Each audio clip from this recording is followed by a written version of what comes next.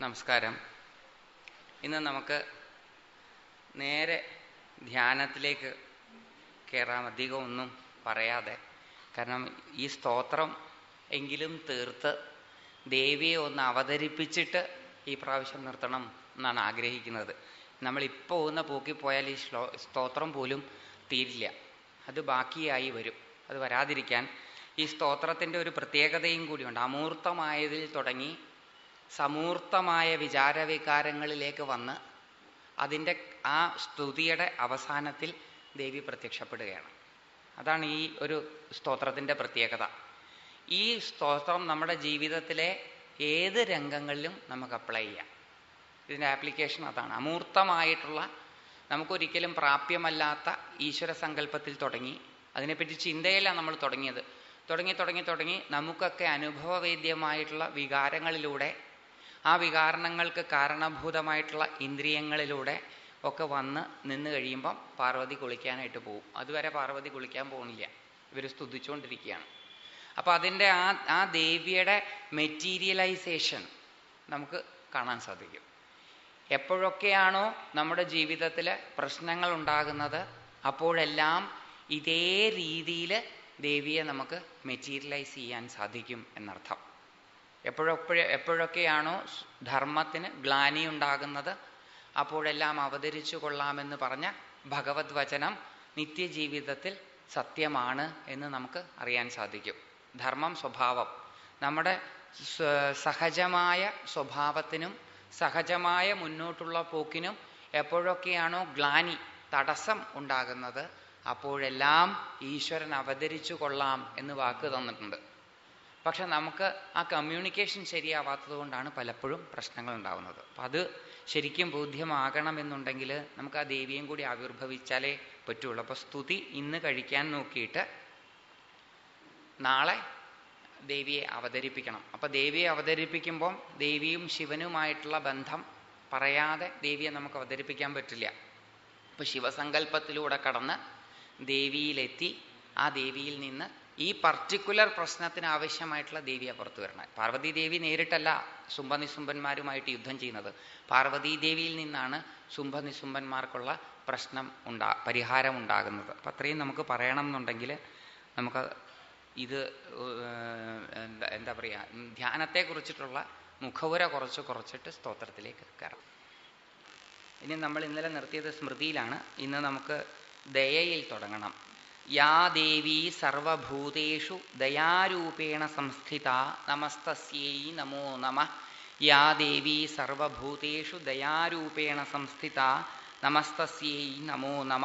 യാ ദേവി സർവഭൂതേഷു ദയാരൂപേണ സംസ്ഥിത നമസ്തസ്യൈ നമോ നമ. ഏതൊരു ദേവിയാണോ സർവചരാചരങ്ങളുടെയും ഉള്ളിൽ ദയയായിട്ട് ജീവകാരുണ്യ പ്രവർത്തനങ്ങളായിട്ട് വർത്തിക്കുന്നത് ആ ദേവിക്കായിക്കൊണ്ട് നമസ്കാരം. എനിക്ക് നിങ്ങളെ സഹായിക്കാൻ സാധിക്കും ഞാനത് ചെയ്യുന്നു അതാണ് ദയ. മറ്റേത് കാരുണ്യമാണ്. ഞാനും നിങ്ങളും ഒരേ തലത്തിൽ നിന്നുകൊണ്ട് നിങ്ങൾ അനുഭവിക്കുന്നത് അതേപടി ഞാൻ അനുഭവിക്കുകയും ഞാൻ അനുഭവിക്കുന്നത് നിങ്ങൾ അനുഭവിക്കുകയും ചെയ്യുന്നത് കാരുണ്യം. ദയ ഒരിത്തിരി മുകളിൽ നിന്ന് താഴോട്ട് നോക്കുന്നതാണ്. ഒരു ഒരല്പം മുകളിൽ നിൽക്കുന്നയാൾക്ക് താഴെ നിൽക്കുന്നവരെന്ന് തോന്നുന്നവരോട് തോന്നുന്ന വികാരമാണ് ദയ. അപ്പോൾ ആ ദയ പോലും ദേവിയാണ്. ഒരാളുടെ ഉള്ളിൽ മറ്റുള്ളവരെ സഹായിക്കാൻ തോന്നുന്നു എങ്കിൽ തനിക്ക് മറ്റുള്ളവരെ സഹായിക്കാൻ സാധിക്കും എന്ന് തോന്നുന്നുണ്ടെങ്കിൽ ആ തോന്നൽ ദേവിയാണ്. മനുഷ്യന് മാത്രമേ ഉള്ളൂ ഈ ഒരു ഗുണം. മൃഗങ്ങൾക്ക് ദയയില്ല. മൃഗങ്ങളുടെ ഇടയിൽ ഈ ഹൈറാർക്കി കാണില്ല. ആൺസിംഹത്തിന് വേറൊരാൺസിംഹത്തിനോട് ദയ തോന്നാറില്ല. മറ്റേയാൾ എത്ര വിശന്നായാലും ശരി. രണ്ടാമത് വന്ന സിംഹത്തിന് ആദ്യം വന്ന സിംഹത്തേക്കാൾ വിശപ്പുണ്ട് എന്ന് കണക്കാക്കി താൻ പിടിച്ച എര ആ രണ്ടാമത്തെ സിംഹത്തിന് പകുത്തു കൊടുക്കുക എന്നൊരു പരിപാടി പ്രപഞ്ചത്തിൽ വളരെ കുറവാണ് പ്രപഞ്ചത്തിൽ അമ്മമാർ കുഞ്ഞു മക്കളെ നോക്കുന്നത് മാത്രമേ അവിടെ ഈ ഇത് കാണുകയുള്ളൂ ബാക്കി വളർന്നു കഴിഞ്ഞാൽ ഈ പറയുന്ന സാധനം ഉണ്ടാവാറ് പതിവില്ല. അത് മൃഗങ്ങളുടെ ഇടയിലില്ല പ്രകൃതിക്കും ഇല്ല ഈ സാധനം. ഭൂകമ്പം വരുന്ന സമയത്ത് കുറച്ച് നാമം കൂടുതൽ ജപിച്ചവരോട് ഒരു കൺസെഷൻ ഒന്നും പ്രകൃതിയും തരാറില്ല. സുനാമി വരുമ്പോൾ ലത്തൂറിൽ ഭൂകമ്പം ഉണ്ടാകുമ്പം ഈ ശ്രീചക്ര പൂജ ചെയ്തവരാണെന്നോ വിഷ്ണുവിന്റെ നാമം സ്മരിച്ചവരാണെന്നോ ഒന്നും ഭൂകമ്പവും സുനാമിയും നോക്കുകയല്ല അങ്ങ് കൊണ്ടുപോകും. ഇപ്പം ദയയില്ല ഇവർക്കൊന്നും. മനുഷ്യന് മാത്രമേ ഉള്ളൂ. ഈ ഹോളിയർ ദാൻ ദൗ ആറ്റിറ്റ്യൂഡ് പക്ഷെ അതും ദേവിയാണ്. മനുഷ്യൻ മാത്രമേ ഈ മറ്റുള്ളവരെ സഹായിക്കാൻ വേണ്ടിയിട്ടുള്ള ഈ പടാപ്പാടൊക്കെ പെടുന്നുള്ളൂ. വാസ്തവത്തിൽ അതുകൊണ്ട് ആരെങ്കിലും സഹായിക്കപ്പെടുന്നുണ്ടോ എന്നും ഈ അവസരത്തിൽ ചിന്തിക്കേണ്ടതാണ്. ഇത്രയധികം ദയാലുക്കളുള്ള നാട്ടിൽ ഇപ്പോഴും അശാന്തിയും അസമാധാനവും ഒഴിഞ്ഞിട്ടില്ല എന്നുള്ളതും ഓർക്കേണ്ടതാണ്. അപ്പം അതിന്റെ കാരണം എന്താണെന്നൊക്കെ അന്വേഷിച്ചു പോകുമ്പോൾ നമ്മൾ ഈശ്വരനിൽ എത്തും. അനാഥന്മാരെ സംരക്ഷിക്കാൻ അനാഥാലയങ്ങൾ പണിയുമ്പം ഇൻഡയറക്റ്റായിട്ട് അനാഥന്മാരുണ്ടാകാൻ പ്രാർത്ഥിക്കുകയാണ് ചെയ്യുന്നത്. വൃദ്ധസദനങ്ങൾ വൃദ്ധന്മാരെ രക്ഷിക്കാൻ വേണ്ടി വൃദ്ധസദനങ്ങൾ ഉണ്ടാ പണിയുമ്പോൾ ഇൻഡയറക്റ്റായിട്ട് ഒരു ഗതിയും ഇല്ലാത്ത വൃദ്ധന്മാരുണ്ടാകണം എന്നാണ് പ്രാർത്ഥിക്കുന്നത്. രോഗികളെ ചികിത്സിക്കാൻ വേണ്ടി ആശുപത്രികൾ പണിയുന്ന സമയത്ത് ഈ ആശുപത്രികൾക്കെല്ലാം നല്ല രോഗികളെ കിട്ടണേ എന്നാണ് പ്രാർത്ഥന. ആശുപത്രി തുടങ്ങുന്ന സമയത്ത് ഗണപതി ഹോമം ചെയ്ത് നടത്താൻ. ആ ഗണപതി ഹോമം സാത്വികമോ രാജസികമോ താമസികമോ. ഗണപതി ഹോമം ചെയ്തു കഴിഞ്ഞാൽ ആ ഹോസ്പിറ്റൽ നന്നായിട്ട് ഫങ്ഷൻ ചെയ്യണം. ആ ഹോസ്പിറ്റൽ നന്നായിട്ട് ഫങ്ഷൻ ചെയ്യുക എന്ന് പറഞ്ഞാൽ അതിന്റെ ചുറ്റുപാടുമുള്ളവരെല്ലാം രോഗികളായി തീരണം. അപ്പം ഓരോ ഹോസ്പിറ്റലുകളും സമൂഹത്തെ രോഗഗ്രസ്തരാക്കിക്കൊണ്ടിരിക്കുന്നു. ഓരോ വൃദ്ധസദനങ്ങളും അഗതികളായ വൃദ്ധന്മാരെ സൃഷ്ടിച്ചുകൊണ്ടിരിക്കുന്നു. ഓരോ അനാഥാലയങ്ങളും അനാഥന്മാരെ സൃഷ്ടിച്ചുകൊണ്ടിരിക്കുന്നു. അതുകൊണ്ട് പ്രാചീന ഭാരത സംസ്കൃതിയിൽ ഇതൊന്നും കാണില്ല. അനാഥന്മാർ അന്നും ഉണ്ടായിരുന്നു. ശകുന്തള അനാഥയായിരുന്നു. സീതാദേവി അനാഥയായിരുന്നു. കർണൻ അനാഥനായിരുന്നു. അയ്യപ്പസ്വാമിയും അനാഥനായിരുന്നു. ഈ അനാഥന്മാരെ പലർക്കുമായിട്ടാണ് കിട്ടുന്നത്. ഒന്ന് കിട്ടിയത് മഹാരാജാവിനാണ് സീതാദേവിയെ. സീതാദേവിയെ കിട്ടിയ മഹാരാജാവിന് അനേകം അനാഥാലയങ്ങൾ പണിയുവാനുള്ള ധനസ്ഥിതി ഉണ്ടായിരുന്നിട്ടും എന്തുകൊണ്ട് ഒരൊറ്റ അനാഥാലയം പോലും പണിതില്ല എന്നാലോചിക്കണം തനിക്ക് കിട്ടിയ ഈ അനാഥ ബാലിക ഈശ്വരൻ തന്നെ തന്നതാണ് എന്ന് മനസ്സിലാക്കിയിട്ട് തന്റെ വീട്ടിലേക്ക് തന്റെ ഒരു കുട്ടിയായിട്ട് കൊണ്ടുപോവുകയാണ്. അനാഥാലയത്തിൽ കൊണ്ടുവിടുകയല്ല. കണ്ണോ മഹർഷി സർവസംഗ പരിത്യാഗിയായ ആശ്രമവാസിയായ കണ്ണോ മഹർഷിയുടെ തപോവന പ്രാന്തപ്രദേശത്ത് ശകുന്ത പക്ഷികളാൽ ലാളിക്കപ്പെട്ട് കിടന്ന ആ പെൺകുഞ്ഞിനെ കണ്ടപ്പോൾ ഒരു അനാഥാലയം ആശ്രമത്തിന്റെ അനക്സിയായിട്ട് തുടങ്ങാം. എന്നാൽ കുറച്ച് ഡൊണേഷൻ കൂടുതൽ വാങ്ങിക്കാമല്ലോ എന്ന് കണ്വ മഹർഷി തീരുമാനിക്കാത്തത് കൊണ്ട് കണ്വ പുത്രിയായിട്ടാണ് ശകുന്തള വളർന്നത്. ശകുന്തളയുടെ അച്ഛനും അമ്മയും ദിവ്യജന്മങ്ങൾ. കർണൻ സത്യം പറഞ്ഞാൽ ഇന്നത്തെ ഭാഷയിൽ പറഞ്ഞാൽ പിഴച്ചു പറ്റതാണ്. നല്ല രീതിയിലൊന്നും പ്രസവിച്ചതല്ല. കർണനെ. ആ കർണൻ അനാഥനാകുമ്പോൾ കവചകുണ്ടലങ്ങളോട് കൂടിയിട്ടാണ് അനാഥനാക്കപ്പെട്ടത്. സൂര്യപുത്രനാണ്. എന്നാണ് ഭാരത വിവക്ഷ എടുത്തു വളർത്തിയത് ഒരു പാവപ്പെട്ടവരാണ്. ബാക്കി രാജാവ് ധനികനായിരുന്നു. ആശ്രമവാസി ഒന്നുമില്ലാത്തയാളാണ്. ഈ രാധേയൻ സമൂഹത്തിലെ ഏറ്റവും താണ നിലയിലുള്ള ആളാണ് രാജകൊട്ടാരത്തിൽ തേരാളിയാണ് സൂതൻ. ആ സൂതന്റെ പത്നിക്കൊരു കുഞ്ഞിനെ കിട്ടിയപ്പോൾ അതിനെ കളയാമെന്നല്ല തോന്നിയത്. ഈശ്വരൻ തന്നതാണ് എന്ന്. അപ്പോൾ അതിൽ ധനിക ദരിദ്ര ഭേദമില്ല എന്നർത്ഥം അതായത് ധനസ്ഥിതി നോക്കിയിട്ടല്ല കുഞ്ഞിനെ ദത്തെടുത്തത് എന്നർത്ഥം. ആ കുഞ്ഞിനെ അങ്ങ് എടുത്തു. രാധേയനായിട്ടാണ് കുഞ്ഞു വളർന്നത്.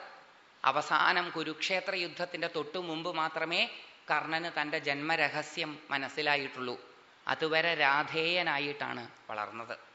പന്തളൻ രാജകുമാരനായി വളർന്ന അയ്യപ്പസ്വാമിയും അനാഥനായിരുന്നു. അപ്പോൾ അനാഥന്മാർ പണ്ടുമുണ്ടായിരുന്നിട്ടുണ്ട് പക്ഷെ അനാഥ ജന്മങ്ങളെല്ലാം ദിവ്യജന്മങ്ങളാണെന്നാണ് ഭാരതീയ വിശ്വസിച്ചിരുന്നത്.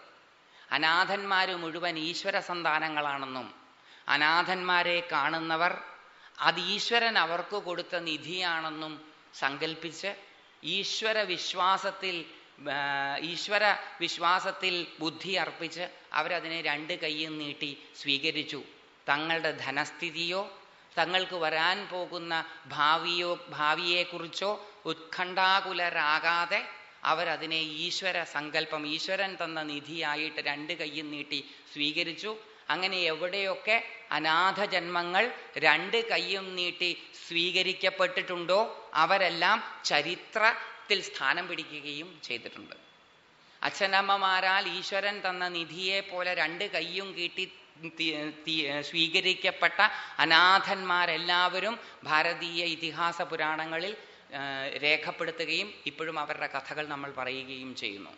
അനാഥ ജന്മങ്ങൾക്ക് സനാഥ ജന്മങ്ങളെക്കാൾ ദിവ്യത്വം കൊടുത്തിരുന്ന സംസ്കാരത്തിൽ നിന്ന് സനാഥ ജന്മങ്ങൾക്ക് അനാഥ ജന്മങ്ങളെക്കാൾ വലുപ്പം കൊടുക്കുന്ന ഒരു സംസ്കാരത്തിലേക്ക് മാറിയപ്പോൾ അത് ച്യുതിയായി മാറി.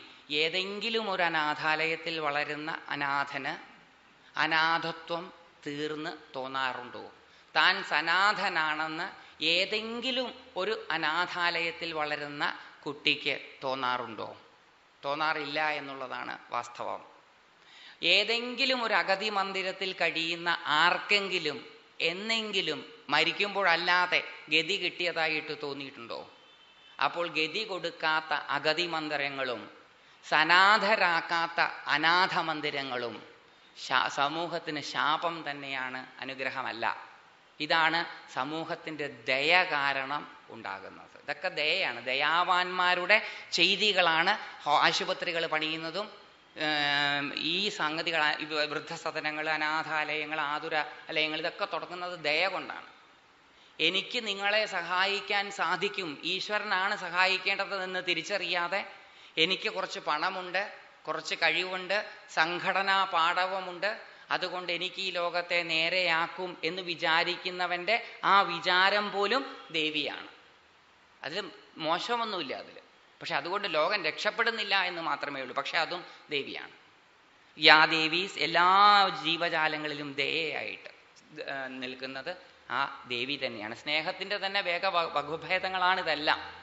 കാരുണ്യമായാലും ശരി ദയായാലും ശരി എല്ലാവർക്കും തോന്നുന്നില്ലല്ലോ. അതൊരളവ് വരെ നന്മ തന്നെയാണ്. അത് തെറ്റൊന്നുമില്ല. അങ്ങനെ തോന്നിയാൽ തെറ്റൊന്നുമില്ല. നമ്മുടെ ഇഷ്ടാനിഷ്ടങ്ങൾക്ക് വിധേയമായിട്ടല്ല നമുക്ക് തോന്നലുകൾ ഉണ്ടാവുന്നത്.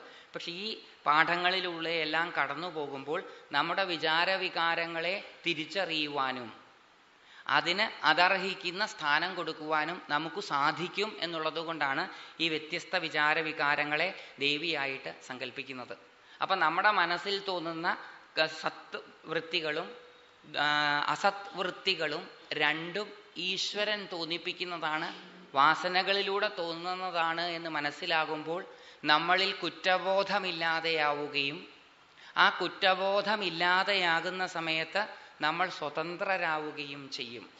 അങ്ങനെ നമ്മൾ സ്വതന്ത്രരാകുവാനും സ്വതന്ത്രരായി കഴിയുമ്പോൾ ചിന്തിക്കുന്ന ഒരാൾക്ക് മുന്നോട്ട് പോകാൻ സാധിക്കുമെന്നുള്ളത് കൊണ്ട് കുറ്റബോധങ്ങൾ ഉണ്ടാക്കാത്ത മനുഷ്യനെ മനുഷ്യനായി കണ്ട് അവനെ സ്വീകരിക്കാൻ പ്രേരിപ്പിക്കുന്നതാണ് ഭാരതീയ മതം. ഇതിൽ അതുകൊണ്ടാണ് ഈ മോശം പ്രവൃത്തികൾ പോലും ഈശ്വരന്റെതാണെന്ന് പറയുന്നത്. ഇതെല്ലാം ഈശ്വരന്റെതാണ് എന്ന് പറഞ്ഞാൽ ഞാൻ വേണമെന്ന് വിചാരിച്ചിട്ടോ വേണ്ട എന്ന് വിചാരിച്ചിട്ടോ അല്ല പലതും ചെയ്യുന്നതും ചെയ്യാതിരിക്കുന്നതും എന്ന് മനസ്സിലാകുന്ന എനിക്ക് എന്റെ വിചാര വികാരങ്ങളെല്ലാം ഈശ്വരൻ എന്നിലൂടെ പ്രവർത്തിക്കുന്നതാണ് എന്ന് മനസ്സിലായി കഴിഞ്ഞാൽ നിമിത്തമാത്രം ഭവ സവ്യസാചിൻ എന്ന് കൃഷ്ണനതാ പറഞ്ഞത്. അത് കാണിച്ചു കൊടുക്കുകയും ചെയ്തു. പതിനൊന്നാം അധ്യായത്തിൽ കൗരവ പട മുഴുവൻ നശിപ്പിക്കപ്പെട്ടതായിട്ട് കാണിച്ചു കൊടുക്കുന്ന കൃഷ്ണൻ അർജുനനോട് വാസ്തവത്തിൽ പറയുകയാണ് നിന്റെ ഭാവി നീ തീരുമാനിക്കപ്പെട്ട് കഴിഞ്ഞു. അതിൽ നിനക്ക് പ്രത്യേകിച്ചൊന്നും ചെയ്യാനില്ല. നീ അങ്ങോട്ട് പ്രവർത്തിച്ചാൽ മതി. അപ്പോൾ ആ പ്രവൃത്തി നമ്മൾ ചെയ്യുമ്പം നമ്മളുടെ പ്രവൃത്തികൾ കാരണം നമുക്ക് കുറ്റബോധമുണ്ടാകാതിരിക്കുകയും കുറ്റബോധമുണ്ടാകാതിരിക്കുമ്പം കൂടുതൽ കുറ്റങ്ങൾ ചെയ്യാൻ തോന്നുകയല്ല ചെയ്യുക. കുറ്റബോധം ചിന്തിക്കുന്നവരുടെ കാര്യമാണത്. കുറ്റബോധം ഇല്ലാത്ത ഒരവസ്ഥയിലെത്തിയാൽ സ്വതന്ത്രരാവുകയും മനസ്സ് സ്വതന്ത്രമായി കഴിഞ്ഞാൽ അതിന് ഉയരങ്ങളിലേക്ക് വിഹരിക്കാൻ സാധിക്കുകയും ചെയ്യും. സ്വതന്ത്രമല്ലാത്ത മനസ്സിന് ഉയർന്ന തലങ്ങളിൽ സഞ്ചരിക്കാൻ സാധ്യമല്ല എന്നുള്ളത് കൊണ്ടും മനസ്സിനെ കെട്ടിയിടുന്നതിൽ ഏറ്റവും വലിയൊരു പങ്ക് കുറ്റബോധത്തിനാണുള്ളത് എന്നുള്ളത് കൊണ്ടും ഭാരതീയ സംസ്കാരം ഒരാളിലും കുറ്റബോധത്തെ വളർത്താൻ അനുവദിക്കുന്നില്ല. അറിയാതെ തെറ്റു ചെയ്താൽ അതിൽ പശ്ചാത്തപിച്ച് പ്രായശ്ചിത്തം ചെയ്യാനുള്ള വകുപ്പുകളും ഇവിടെ വന്നു കഴിഞ്ഞ് ഉണ്ടാക്കുന്നു. അപ്പൊ അങ്ങനെ ഓരോന്നും ചെയ്ത് മനുഷ്യന്റെ മനസ്സിനെ സ്വതന്ത്രമാക്കി ആ സ്വാതന്ത്ര്യത്തിൽ അവനെ ഉയരാൻ അനുവദിക്കുന്നു. അതുകൊണ്ടാണ് നല്ലതും ചീത്തയുമായിട്ടുള്ള ആഗ്രഹങ്ങൾ ഈശ്വരന്റെതാണെന്ന് പറയണത്. ഈ ചീത്തയായിട്ടുള്ള ആഗ്രഹങ്ങൾ ഈശ്വരന്റെതാണെന്ന് പറയുമ്പം നമ്മൾ അടുത്ത് ചോദിക്കുക എന്നാൽ പിന്നെ ആർക്ക് വേണമെങ്കിലും തെറ്റ് ചെയ്തുകൂടെ എന്ന്? ചെയ്യാൻ പറ്റില്ല. നിങ്ങൾക്ക് തെറ്റ് ചെയ്യണമെന്ന് വിചാരിച്ചാൽ നിങ്ങൾക്ക് തെറ്റ് ചെയ്യാൻ പറ്റുമെന്നും ശരി ചെയ്യണമെന്ന് വിചാരിച്ചാൽ ശരി ചെയ്യാൻ പറ്റുമെന്നും ഉള്ളത് വെറും ഒരു മിഥ്യാധാരണയാണ്. അങ്ങനെ ചെയ്യാൻ പറ്റില്ല. ചെയ്യാൻ ശ്രമിച്ചു നോക്കിക്കോളൂ പറ്റില്ല. ശ്രമിച്ചു നോക്കാം. പറ്റില്ല. ആ സമയത്ത് നിങ്ങൾക്ക് അതിൽ നിന്ന് പിന്തിരിയേണ്ടി വരും. കാരണം നിങ്ങൾ എന്താണോ അതാകാനേ നിങ്ങൾക്ക് പറ്റുള്ളൂ. അതുകൊണ്ട് അതിൽ പേടിക്കേണ്ട ആവശ്യമൊന്നുമില്ല. ഇങ്ങനെയൊക്കെ പറഞ്ഞ ആൾക്കാർ കൂടുതൽ മോശക്കാരാവില്ലേ എന്ന് പേടിക്കണ്ട. നമ്മൾ നമ്മുടെ കാര്യം മാത്രം നോക്കിയാൽ മതി. നമ്മൾ മോശക്കാരാവോ ഇല്ലയോ എന്ന് മാത്രമേ ചിന്തിക്കണ്ടൂ. ബാക്കിയുള്ളവർക്ക് അവരുടെ തലയ്ക്കകത്തിരിക്കുന്നത് ചിന്തിച്ചോളും. നമ്മുടെ സഹായം അവർക്ക് ആവശ്യമില്ല. ആവശ്യമുണ്ടെങ്കിൽ അവർ ചോദിക്കും. അപ്പൊ ഇവിടെ ചോദിക്കാതെയാണല്ലോ സഹായം ചെയ്യുന്നത്. അതാണ് ബുദ്ധിമുട്ട്. ചോദിക്കണം. അപ്പൊ കൊടുത്താൽ മതി സഹായം എന്നാണ്. വേറൊരാൾക്കും ഒരാളെ സഹായിക്കാൻ പറ്റുകയില്ല എന്നുമുള്ളത് വാസ്തവമാണ്. സെൻ ബുദ്ധിസത്തിൽ സഹായത്തെ പറ്റി പറയുന്ന ഒരു ഭാഗമുണ്ട്. ഒരാൾക്കും വേറൊരാളെ സഹായിക്കാൻ പറ്റില്ല. അപ്പൊ സഹായത്തെ പറ്റി ഹെൽപ്പിനെ പറ്റി വർണിക്കുന്ന വിവരിക്കുന്ന ഒരു സെൻ കഥയുണ്ട്. ഒരാൾ ഒരു വഴിയെ നടന്നു പോവുകയാണ്. ആ വഴിയെ നടന്നു പോകുമ്പോൾ മുമ്പേ ഒരാൾ നടന്നു പോകുന്നുണ്ട്. പുറകെ നമ്മുടെ സെൻ മങ്ക് നടക്കുന്നുണ്ട്. മുമ്പേ പോകുന്നയാളുടെ തോളിൽ തൂക്കിയിട്ടിരിക്കുന്ന കൊട താഴെ വീണുപോയി. അയാൾ അറിഞ്ഞില്ല. ആ മുമ്പേ നടക്കുന്നയാളുടെ തോളിൽ തൂക്കിയിട്ടിരിക്കുന്ന കൊട താഴെ വീണു പോയത് പുറകെ വരുന്ന സെൻ ഭിക്ഷു എടുത്ത് അയാൾക്ക് കൊടുക്കുകയാണ്. എന്നിട്ടൊരു താങ്ക് യുവും പറഞ്ഞ് അവർ രണ്ടുപേരും അവരുടെ വഴിക്ക് പോവുകയാണ്. ഈ കൊട കൊടുക്കുമ്പോൾ അതൊരു ഉപകാര സ്മരണയായിട്ട് മനസ്സിൽ വെക്കണം എന്നില്ല എന്ന് കൊടുക്കുന്നയാൾക്കും വാങ്ങുന്നയാൾക്കും അറിയാം. ഇയാൾ പണ്ട് എന്റെ കൊട പോയപ്പം എനിക്ക് തന്നവനാണല്ലോ എന്നുള്ള ഓർമ്മ ഉപകാരസ്മരണ എന്ന് പറയുന്ന സാധനം. നന്ദി ഇല്ലാത്തവർ എന്നൊക്കെ നമ്മൾ വിളിക്കില്ലേ? നമ്മൾ ചെയ്ത സഹായങ്ങളെല്ലാം അവർ ഓർക്കണം എന്നാണ് നമ്മൾ ഈ പറയണത്. അതായത് ഈ കൊട എടുത്തു കൊടുത്തതുപോലെ ഉള്ളൂ ഏത് സഹായവും. സെൻ ബുദ്ധിസ്റ്റുകൾ പറയാണ് അല്ലാത്ത സഹായങ്ങൾ ചെയ്ത അപകടം ഉണ്ടാവും. രണ്ട് എതിർദിശയിൽ സഞ്ചരിക്കുന്ന ആൾക്കാർ ഒരാൾ മുന്നോട്ട് പോകുന്നു ഒരു വഴിയെ അങ്ങോട്ട് പോകുന്നു മറ്റേയാൾ ആ വഴിയെ ഇങ്ങോട്ട് വരുന്നു. അങ്ങനെ ഈ വഴിയെ പോകുന്നയാൾ ആ വഴിയെ പോകുന്നയാളുടെ കുട താഴെ വീണ് അതെടുത്ത് അയാളെ വിളിച്ചു കൊടുക്കാൻ നിന്നാൽ രണ്ടുപേരുടെയും മുന്നോട്ടുള്ള പോക്ക് തടസ്സാവും. ഒന്നുകൂടെ പറയാം. ഒരാൾ ഒരു വഴി ഒരു ഹൈവേയുടെ രണ്ട് ഭാഗത്തൂടെ പോവാന്നിരിക്കട്ടെ. അതിൽ ഒരു ഭാഗത്തൂടെ പോകുന്നയാളുടെ തോളിലെ കൊട വീണപ്പോൾ മറ്റേയാളത് കണ്ട് ക്രോസ് ചെയ്ത് ആ കൊടയെടുത്ത് മറ്റ് ആ പോയയാളെ നിർത്തി വിളിച്ച് ഈ കൊട കൊടുക്കുമ്പോൾ രണ്ടു പേരുടെയും പോക്കിന് ഈ സഹായം കൊണ്ടുണ്ടാകുന്നത് ഗുണമല്ല ദോഷമാണ്. കാരണം വെച്ചാൽ സമയം അത്രയും പോയി. ലക്ഷ്യത്തിലെത്താനുള്ള സമയം അത്രയും പോയി. അതുകൊണ്ട് നമുക്ക് മറ്റുള്ളവരെ സഹായിക്കാൻ സാധിക്കുകയൊക്കെ വളരെ നിസ് ചെറിയ സഹായങ്ങളൊക്കെ ചെയ്യാൻ പറ്റുള്ളൂ. വലിയ വലിയ സഹായങ്ങളൊക്കെ ചെയ്യാൻ മനുഷ്യർക്ക് മറ്റുള്ളവർക്ക് ചെയ്യാൻ സാധിക്കുമായിരുന്നു എങ്കിൽ ഈ ലോകം വളരെ നന്നായി പോയനെ. നന്നായിട്ടല്ല പോണത് എന്നുള്ളത് കൊണ്ട് വലിയ സഹായം ഒന്നും ആർക്കും ചെയ്യാൻ പറ്റില്ല. ഈശ്വര പ്രേരിതമല്ലാത്തത് അപ്പൊ ഈ കൊട എടുക്കുന്നത് പോലെ ഉള്ളൂ. ആ കൊട എടുത്ത് കഴി കൊടുത്തു കഴിഞ്ഞാൽ കൊട ഞാൻ പണ്ട് എടുത്തു തന്നതല്ലേ? അതുകൊണ്ട് മഴ പെയ്യുമ്പം ഞാൻ മഴ കൊള്ളാതെ നിൽക്കുമ്പം നീ കൊടയുമായിട്ട് വരുമ്പം ആ കൊടക്കീഴിൽ എന്നെ കയറ്റണം. അല്ലെങ്കിൽ നന്ദികേടാണ് നീ കാണിക്കുന്നത് എന്നൊക്കെ ചിന്തിക്കാൻ തുടങ്ങിയാൽ അത് സഹായമോ ഉപകരണ സ്മരണയോ അല്ല. അവസരവാദാണ്. എനിക്കും ഇതേപോലത്തെ ഒരു സാഹചര്യത്തിൽ ആവശ്യം വന്നേക്കാം എന്ന് വിചാരിച്ചിട്ടുള്ള സഹായങ്ങളൊന്നും സഹായമല്ല. കാരണം എന്താണെന്ന് വെച്ചാൽ എനിക്ക് ഇങ്ങനെ ഒരു സിറ്റുവേഷനിൽ കുഴപ്പം വന്നേക്കാം. അങ്ങനെ വരുന്ന സമയത്ത് ആരെങ്കിലും എന്നെ അപ്പോൾ സഹായിക്കണം എന്ന് വിചാരിച്ച് ഞാൻ വേറൊരാളെ സഹായിച്ചാൽ ആ സഹായം സഹായമല്ല. അത് സ്വാർത്ഥതയാണ്. നമ്മളിൽ പലരും സഹായിക്കുന്നത് ഈ ഉദ്ദേശം വെച്ചിട്ടാ. നമ്മുടെ ആർക്കെങ്കിലും ഈ ഗതി വന്നാലും ഇത് തിരിച്ചു കിട്ടുമല്ലോ എന്ന് വിചാരിച്ചിട്ടാണ്. തിരിച്ചു കിട്ടും എന്ന് വിചാരിച്ച് ചെയ്യുന്നതൊന്നും സഹായമല്ല. അതുകൊണ്ടാണ് ഈ കൊടയുടെ കാര്യം എടുത്ത് പറയുന്നത്. കൊട എടുത്ത് നമ്മൾ ഇതേപോലെ ഒരുപാട് സഹായങ്ങൾ ചെയ്യുന്നവരാണ്. ഇത് ഓർത്തു വയ്ക്കുകയല്ല. അതേ സമയത്ത് ചില സഹായങ്ങൾ മനസ്സിൽ ഓർത്തു വയ്ക്കും. അതിനനുസരിച്ച് മറ്റേയാൾ പെരുമാറിയില്ലെങ്കിൽ നമ്മൾ ഇടയ്ക്കൊന്ന് അയാളെ ഓർമ്മിപ്പിക്കും. നിനക്ക് ഓർമ്മയുണ്ടോ? പണ്ട് ഞാൻ നിനക്ക് ഇങ്ങനെ ചെയ്തു തന്നത്. ഓർമ്മയില്ലാന്നെങ്ങാനും അയാൾ പറഞ്ഞാൽ അയാൾ കേൾക്കേ ഒന്നും പറയുന്നില്ല കേൾക്കാതെ എന്തൊക്കെ പറയും നമ്മൾ ചെയ്ത സഹായം മുഴുവൻ ഈശ്വരന്റെ സ്ലേറ്റിൽ നിന്ന് മാഞ്ഞു പോകും. അതുകൊണ്ട് സഹായം ചെയ്യുകയാണ് എന്നൊക്കെ ധരിച്ച് നമ്മൾ അങ്ങനെ ചെയ്യേണ്ട ആവശ്യമില്ല. പക്ഷെ അങ്ങനെ ചെയ്യുകയാണെങ്കിൽ അങ്ങനെ നമുക്ക് തോന്നുകയാണ്. ഇതൊന്നും നമ്മുടെ കൈപ്പിടിയിലുള്ളതല്ല. ഈ പറഞ്ഞു കേട്ടതുകൊണ്ട് നാളെ സഹായിക്കാതിരിക്കാനൊന്നും പറ്റില്ല.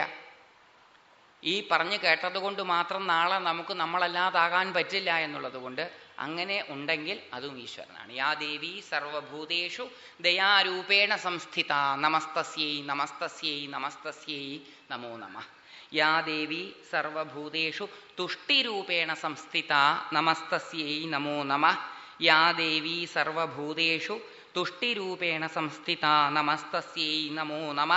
യാ ദേവി സർവഭൂതേഷു തുഷ്ടിരൂപേണ സംസ്ഥിത നമസ്തസ്യൈ നമോ നമ.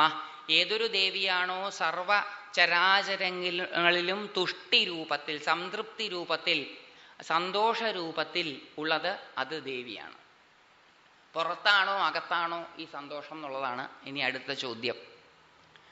ഒരു വീട്ടിലെ രണ്ട് മക്കൾക്ക് ആ രണ്ട് മക്കളുടെയും അച്ഛൻ ഒരേപോലത്തെ കളിപ്പാട്ടങ്ങൾ വാങ്ങിക്കൊടുത്താൽ അതിലൊരാൾക്ക് സന്തോഷവും മറ്റേയാൾക്ക് സന്തോഷമില്ലായ്മയും ഉണ്ടാകുന്നത് അനുഭവിച്ചറിഞ്ഞവരാണ് നമ്മൾ ഒരേ വീട്ടിൽ ഒരേ സാഹചര്യത്തിൽ ഒരേ ആഹാരം ഒരേ തരത്തിലുള്ള വസ്ത്രം ഒരേ തരത്തിലുള്ള ഭൂപ്രദേശം ഇതിനൊക്കെ മനസ്സിൽ സ്വാധീനമുണ്ട്. പക്ഷെ അങ്ങനെ എല്ലാം ഏകമായിരിക്കുന്ന ഒരു അന്തരീക്ഷത്തിൽ ഒരേപോലത്തെ കളിപ്പാട്ടം ഒരേ വിലയ്ക്കുള്ളത് ഒന്ന് റിബേറ്റിലും മറ്റേത് ഒറിജിനൽ വിലയല്ല ഒരേ വിലയ്ക്കുള്ളത് രണ്ടു മക്കൾക്കും ഒരേപോലെ ഒരേ സമയത്ത് ഒരേ അച്ഛൻ ഒരേ വീട്ടിലിരുന്ന് കൊടുത്താൽ രണ്ടു മക്കൾക്കും ഉണ്ടാകുന്നത് ഒരേപോലത്തെ വികാരങ്ങളല്ല. ഒരു ഒരു കുട്ടിക്ക് അത് കിട്ടിയാൽ സന്തോഷം ഉണ്ടാവും മറ്റേ ആളത് അത് വലിച്ചെറിഞ്ഞിട്ട് എനിക്ക് ഇതെനിക്ക് വേണ്ടെന്ന് പറയും. അപ്പോൾ ആ സന്തോഷമുണ്ടാകുന്നതും സന്തോഷമില്ലാതാകുന്നതും ബാഹ്യമായിട്ടുള്ള സാഹചര്യങ്ങളെ ആസ്പദമാക്കിയിട്ടല്ല എന്ന് ബുദ്ധിയുള്ളവർക്ക് അത് കണ്ടാൽ മനസ്സിലാവണം. പക്ഷെ അത് മനസ്സിലാവുന്നില്ല നമുക്ക്. നമ്മുടെ ധാരണകൾ ബാഹ്യമായിട്ടുള്ള വസ്തുക്കളുടെ ആധിക്യമാണ് നമ്മളെ സന്തോഷപ്രദരാക്കുന്നത് എന്നാണ്. സമ്പത്ത് ബാങ്കുകളിലെ പാസ്ബുക്കിലെ നമ്പറുകളിലും നമ്മുടെ രജിസ്റ്റർ ഓഫീസുകളിലെ ഷീട്ടുകളിലുള്ള ഏക്കറുകളുടെ വലുപ്പവുമാണ് എന്ന് ധരിച്ചു പോകുന്നതാണ് നമ്മുടെ പ്രശ്നം. ഭാഗവതത്തിലെ ഏകാദശ സ്കന്ധത്തിൽ പറയുന്നു സമ്പത്ത് എന്ന് പറയുന്നത് സംതൃപ്തിയാണ്. ആ സംതൃപ്തിയുള്ളവനാണ് സമ്പന്നൻ. നൂറ് രൂപ മാസവരുമാനമുള്ള ഒരാൾ അയാളുടെ മാസ ചെലവ് കഴിഞ്ഞാൽ ബാക്കി പത്ത് രൂപയുണ്ട്. ഒരു ലക്ഷം രൂപ മാസ വരുമാനമുള്ള ഒരാൾ ഒരു മാസം കഴിഞ്ഞാൽ അയാൾക്ക് കടമായിട്ട് ആയിരം രൂപയുണ്ട്. നൂറ് രൂപ വാങ്ങിക്കുന്നവനാണോ സമ്പന്നൻ? ഒരു ലക്ഷം രൂപ വാങ്ങിക്കുന്നവനാണോ സമ്പന്നൻ? അപ്പൊ ഇതെല്ലാം ബാഹ്യ വസ്തുക്കളിലല്ല ഇത് കിടക്കുന്നത്. സന്തോഷം നമ്മുടെ ഉള്ളിലാണുള്ളത് എന്തുണ്ട് എന്നുള്ളതല്ല ഉള്ളതിനോടുള്ള നമ്മളുടെ പ്രതികരണമാണ് സന്തോഷവും ദുഃഖവും ഉണ്ടാക്കുന്നത്. എത്ര കിട്ടിയാലും എന്ത് കിട്ടിയാലും സംതൃപ്തരാകാത്തവരെ നമ്മൾ കണ്ടിട്ടുണ്ട്. ഏത് സാഹചര്യത്തിൽപ്പെട്ടാലും കുറ്റം പറയും. എന്തിലും കുഴപ്പം പറയും. അവർക്കൊരിക്കലും സ്വസ്ഥത ഉണ്ടാവില്ല. വേറൊരു കൂട്ടരെ കണ്ടിട്ടുണ്ട് എത്ര മോശമായത് കണ്ടാലും അവരതിനെപ്പറ്റി എന്തെങ്കിലും നല്ലത് പറയും. അവർക്ക് വളരെ സന്തോഷമാണ് താനും അപ്പോൾ സന്തോഷം ഒരു ആന്തരിക സ്വഭാവമാണ്. ബാഹ്യ വസ്തുക്കളിലുള്ളതല്ല നിങ്ങളുടെ ധനസ്ഥിതിയോ ഭൂസ്ഥിതിയോ ഒന്നുമല്ല സന്തോഷത്തെ തീരുമാനിക്കുന്നത്. അത് ആ വസ്തുക്കളോടുള്ള നിങ്ങളുടെ കാഴ്ചപ്പാടാണ്. ആ കാഴ്ചപ്പാട് നന്നായാൽ ആ കാഴ്ചപ്പാട് ശരിയായാൽ നിങ്ങൾ സന്തുഷ്ടരും സംതൃപ്തരും സമ്പന്നരും ആണ്. അല്ലെങ്കിലോ സന്തുഷ്ടിയുമില്ല സംതൃപ്തിയുമില്ല സമ്പത്തുമില്ല. തനിക്ക് എത്ര കിട്ടിയാലും തനിക്ക് ഒന്നുമില്ല എന്ന് പറയുന്നവൻ ദരിദ്രൻ തന്നെയാണ്. അപ്പോൾ ബാങ്ക് ബാലൻസുകളല്ല ഒരാളുടെ ദാരിദ്ര്യവും സമ്പന്നതയും തീരുമാനിക്കുന്നത്. അതിനോടുള്ള അയാളുടെ പ്രതികരണമാണ്. ആ പ്രതികരണം ഈശ്വരനാണ്. അപ്പം ഏതൊരു ദേവിയാണോ എല്ലാവരിലും സന്തോഷ രൂപത്തിൽ വർത്തിക്കുന്നത് ആ ദേവിക്കായിക്കൊണ്ട് നമസ്കാരം. നമ്മുടെ ഉള്ളിലെ സന്തോഷ രൂപത്തിലിരിക്കുന്ന ദേവി നമ്മളിൽ പ്രസാദിക്കുകയാണ് എങ്കിൽ ഏതവസരത്തിലും നമുക്ക് സന്തോഷമായിരിക്കും നമ്മളിലെ പ്രസന്നവതിയായിരിക്കുന്ന സന്തോഷവതിയായിരിക്കുന്ന അംശം അപ്രിയമാവുകയാണെങ്കിൽ അപ്രീതമാവുകയാണെങ്കിൽ എന്ത് കിട്ടിയാലും മുഖം കറുത്തിരിക്കും. അപ്പം മുഖം കറുത്തിരിക്കുന്നുണ്ടെങ്കിൽ ദുഃഖങ്ങളുണ്ട് എങ്കിൽ തുഷ്ടി രൂപത്തിലുള്ള ദേവി അനുഗ്രഹിച്ചിട്ടില്ല എന്നർത്ഥം. അപ്പൊ ഈ ശ്ലോകം ചൊല്ലിയാൽ മതി ദേവി അനുഗ്രഹിക്കും. ഒന്ന് സ്മരിച്ചാൽ മാത്രം മതി. ദേവി അനുഗ്രഹിക്കും. സ്മരണ മാത്രം മതി ഈ ദേവിക്ക്. അധികം വലിയ ദീർഘമേറിയ തപശ്ചര്യകളൊന്നും വേണ്ട. ഭാവനാമാത്ര സന്തുഷ്ട എന്നാണ് ദേവിക്ക് പേര്. വെറുതെ ഒന്ന് സ്മരിച്ചാൽ മതി ദേവി പ്രസാദിക്കും. അത്രയും കാരുണ്യവതിയാണ് ദേവി. അപ്പോൾ വസ്തുക്കളോട് ഉള്ള നമ്മളുടെ പ്രതികരണമാണ് നമ്മുടെ തുഷ്ടിയും അതുഷ്ടിയും. അങ്ങനെ കുറച്ച് കാലം കഴിഞ്ഞ് ഈ ബാഹ്യ വസ്തുക്കളൊന്നുമല്ല തന്നെ സന്തോഷവാനാക്കുന്നത് സന്തോഷവതിയാക്കുന്നത് എന്ന് തിരിച്ചറിഞ്ഞു കഴിഞ്ഞാൽ ബാഹ്യമായ വസ്തുക്കളോടുള്ള പ്രിയം ഇല്ലാതെയാകും. അതാണ് വൈരാഗ്യം. തന്റെ ഉള്ളിലാണ് പുറത്തല്ല സന്തോഷത്തിന് കാരണമായത് ഉള്ള ഉള്ളത് എന്ന് തിരിച്ചറിഞ്ഞാൽ അത് തിരിച്ചറിയുന്നവരെ വൈരാഗ്യം ഉണ്ടാവില്ല. അതുകൊണ്ടാണ് ജീവിതം കുറച്ച് അനുഭവിക്കണം എന്ന് പറയുന്നത്. ജീവിതം കുറച്ച് അനുഭവിച്ചു കഴിയുമ്പോൾ അതിലൂടെ ഉണ്ടാകുന്ന അനുഭവങ്ങളെ വിശകലനം ചെയ്യാതിരിക്കാൻ സാധ്യമല്ലാതെ വരും മനുഷ്യന്. ഏതെങ്കിലും ഒരു ഘട്ടത്തിൽ ഇരുന്ന് ചിന്തിക്കാതിരിക്കാൻ പറ്റില്ല മനുഷ്യന്. അങ്ങനെ ചിന്തിക്കുന്ന സമയത്ത് ഒരു വീണ്ടു വിചാരത്തോടുകൂടി തന്നിലേക്ക് തന്നെ നോക്കുന്ന സമയത്ത് തന്റെ ദുഃഖത്തിനും തന്റെ സുഖത്തിനും കാരണമായിട്ടുള്ളത് ബാഹ്യമായ വസ്തുക്കളോ ബാഹ്യമായ ശബ്ദങ്ങളോ അല്ല. കാരണം ഒരു കൊച്ചുകുട്ടി നമ്മളെ ചീത്ത വിളിക്കുന്നതും അതേ ചീത്ത ഒരു മുതിർന്നയാൾ വിളിക്കുമ്പോഴും നമ്മളിൽ ഉണ്ടാക്കുന്ന പ്രതികരണം വ്യത്യസ്തമാണ്. കൊച്ചുകുട്ടിയോടുള്ള നമ്മളുടെ കൊച്ചുകുട്ടിയെ പറ്റി ഉള്ള നമ്മുടെ സങ്കല്പവും പ്രായമായ മറ്റേ ആളെ പറ്റിയുള്ള നമ്മുടെ സങ്കല്പങ്ങളുമാണ് ഈ വ്യത്യസ്തമായിട്ടുള്ള പ്രതികരണം ഉണ്ടാക്കുന്നത് വാക്കുകളല്ല. അപ്പോൾ പ്രപഞ്ചത്തെക്കുറിച്ചുള്ള എന്റെ സങ്കല്പ വികല്പങ്ങളാണ് എന്റെ സുഖദുഃഖങ്ങൾക്ക് കാരണം എന്നെനിക്ക് മനസ്സിലായി കഴിഞ്ഞാൽ എന്റെ ഉള്ളിലാണ് സുഖം ഇരിക്കുന്നത്. പുറത്തു നിന്നുള്ള ഒന്നിനും ആ സുഖത്തെ തരുവാനോ ഹനിക്കുവാനോ സാധിക്കുകയില്ല എന്ന് എനിക്ക് മനസ്സിലായി കഴിഞ്ഞാൽ അത് ജീവിച്ചു കഴിയുമ്പോൾ മനസ്സിലാകും. സ്വാഭാവികമായിട്ടും ബാഹ്യമായിട്ടുള്ള വസ്തുക്കളോട് ഒരു അപ്രിയം അപ്രീതി ഉടലെടുക്കും. ഒരു വൈരാഗ്യം സ്വാഭാവികമായിട്ടുണ്ടാകും ആ വൈരാഗ്യ രൂപത്തിലുള്ള തുഷ്ടിയായിരിക്കുന്നതും ദേവി. ജീവിതാനുഭവങ്ങളിൽ സന്തോഷമുണ്ടാകുന്നുവെങ്കിൽ ആ സന്തോഷമുണ്ടാക്കുന്നത് ദേവി. ആ സന്തോഷം കാരണം അതിനെപ്പറ്റി ചിന്തിച്ച് അതിനെപ്പറ്റിയിട്ട് വിശകലനം ചെയ്യുമ്പോൾ ബാഹ്യവസ്തുക്കളൊന്നുമല്ല ഈ സന്തോഷം തരുന്നത്. അതെന്റെ ഉള്ളിൽ നിന്ന് തന്നെയാണ് ഉണ്ടാകുന്നത് എന്ന് മനസ്സിലാകുമ്പോൾ ബാഹ്യവസ്തുക്കളോടുള്ള പ്രിയം കുറഞ്ഞു കുറഞ്ഞു വരികയും തനിക്ക് ആനന്ദത്തെയും സുഖത്തെയും സന്തോഷത്തെയും തരുന്ന തന്റെ ആന്തരികമായിട്ടുള്ള ബോധത്തിനോട് തനിക്ക് കൂടുതൽ ശ്രദ്ധ വരികയും ചെയ്യും. അപ്പോൾ ഈ പ്രപഞ്ച സുഖം തന്നെ ആധ്യാത്മിക സുഖമായി തീരും അതുകൊണ്ടാണ് കുളാർണവ തന്ത്രത്തിൽ പറയണത് ശിവൻ പരമേശ്വരിയോട് പറയുകയാണ് ഭോഗോ യോഗായതേ സമ്യക് ദുഷ്കൃതം സുഹൃതായതേ മോക്ഷായതേ സംസാര കുലധർമ്മേ കുലേശ്വരി. അല്ലയോ ദേവി? ഭോഗങ്ങളെല്ലാം യോഗങ്ങളായി തീരും കാരണം ആ ഭോഗങ്ങളിലൂടെ അനുഭവിക്കുന്ന സുഖങ്ങളെല്ലാം വാസ്തവത്തിൽ തന്റെ ഉള്ളിലെ സുഖമാണ് എന്ന് മനസ്സിലാവുകയും തന്റെ ഉള്ളിലിരിക്കുന്ന സുഖം ആനന്ദസ്വരൂപിണിയുടെ നടനമാണ് എന്ന് മനസ്സിലാവുകയും ചെയ്യുമ്പോൾ ബാഹ്യഭോഗങ്ങളെല്ലാം യോഗമായി തീരും എന്ത് ചെയ്യുമ്പോഴും തന്റെ ഉള്ളിലെ ആ സുഖം തന്നെ കൊണ്ട് ആ പരമപദത്തിന്റെ ഓർമ്മയുണർത്തും. അപ്പൊ ബാഹ്യമായിട്ടുള്ള എല്ലാ സുഖങ്ങളും ആന്തരികമായ സുഖത്തിലേക്ക് നയിക്കും. ഭോഗോ യോഗായതേ സമ്യക് ദുഷ്കൃതം സുകൃതായതേ മോശമായി ചെയ്ത കാര്യങ്ങളെല്ലാം നന്നായി ചെയ്ത കാര്യങ്ങളായി മാറും.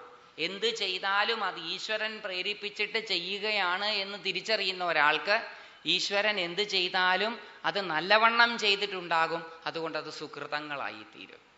മോക്ഷായ തേജ സംസാര. ഈ സംസാര സാഗരം മോക്ഷത്തിന് കാരണമായി തീരും. കാരണം എനിക്ക് എന്നെ നല്ലവണ്ണം മനസ്സിലാവുക ഞാൻ ഈ ലോകത്ത് സഞ്ചരിക്കുമ്പോഴാണ്. എനിക്ക് വീട്ടിന്റെ ഒരു കോണിൽ അടച്ചിരുന്ന് മന്ത്രജപാദികളിൽ മുഴുകാം. ലോകത്തെ ആരെയും കാണാതെ അത് കേമത്വമായിട്ട് വ്യാഖ്യാനിക്കപ്പെടുകയും ചെയ്യും. അയാൾ കുറേ കാലമായിട്ട് ജനസമ്പർക്കമില്ല. അയാൾക്ക് ലോകരുമായിട്ട് ബന്ധമില്ല. ഒറ്റയ്ക്ക് ഈശ്വരനുമായിട്ടിരുന്ന് കഴിയുകയാണ്. അയാൾക്ക് അയാളെ തിരിച്ചറിയാൻ പറ്റില്ല.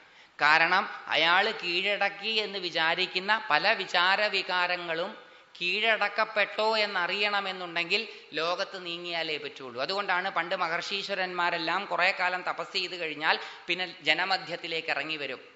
ജനമധ്യത്തിലേക്ക് ഇറങ്ങി വന്ന് പെരുമാറുമ്പോഴാണ് തന്റെ സ്വഭാവത്തിൽ അടിസ്ഥാനപരമായിട്ടുള്ള മാറ്റം ഉണ്ടായിട്ടുണ്ടോ ഇല്ലയോ എന്ന് ഒരാൾക്ക് തിരിച്ചറിയാൻ പറ്റുകയുള്ളൂ.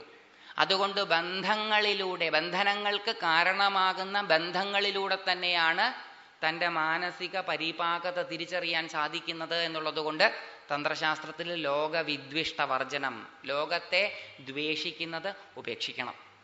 ലോകം മോശമാണെന്നും ഈ കാണുന്ന പ്രപഞ്ചം മുഴുവൻ എന്നെ തെറ്റായിട്ട് നയിക്കുമെന്നും ആരായിട്ട് കൂട്ടുകൂടിയാലും ഞാൻ നശിപ്പിക്കപ്പെടുമെന്നും ധരിച്ച് ആരുമായിട്ടും കൂട്ടുകൂടാതെ ഒരു സങ്കല്പ ലോകത്തിൽ ഞാൻ കഴിയുമ്പോൾ അത് നിങ്ങളുടെ മുമ്പിൽ എനിക്ക് വിലയുണ്ടാക്കി തരുമായിരിക്കാം. പക്ഷേ എന്നെ എനിക്ക് അളക്കാനുള്ള സാഹചര്യം ഇല്ലാണ്ടാക്കും അത്.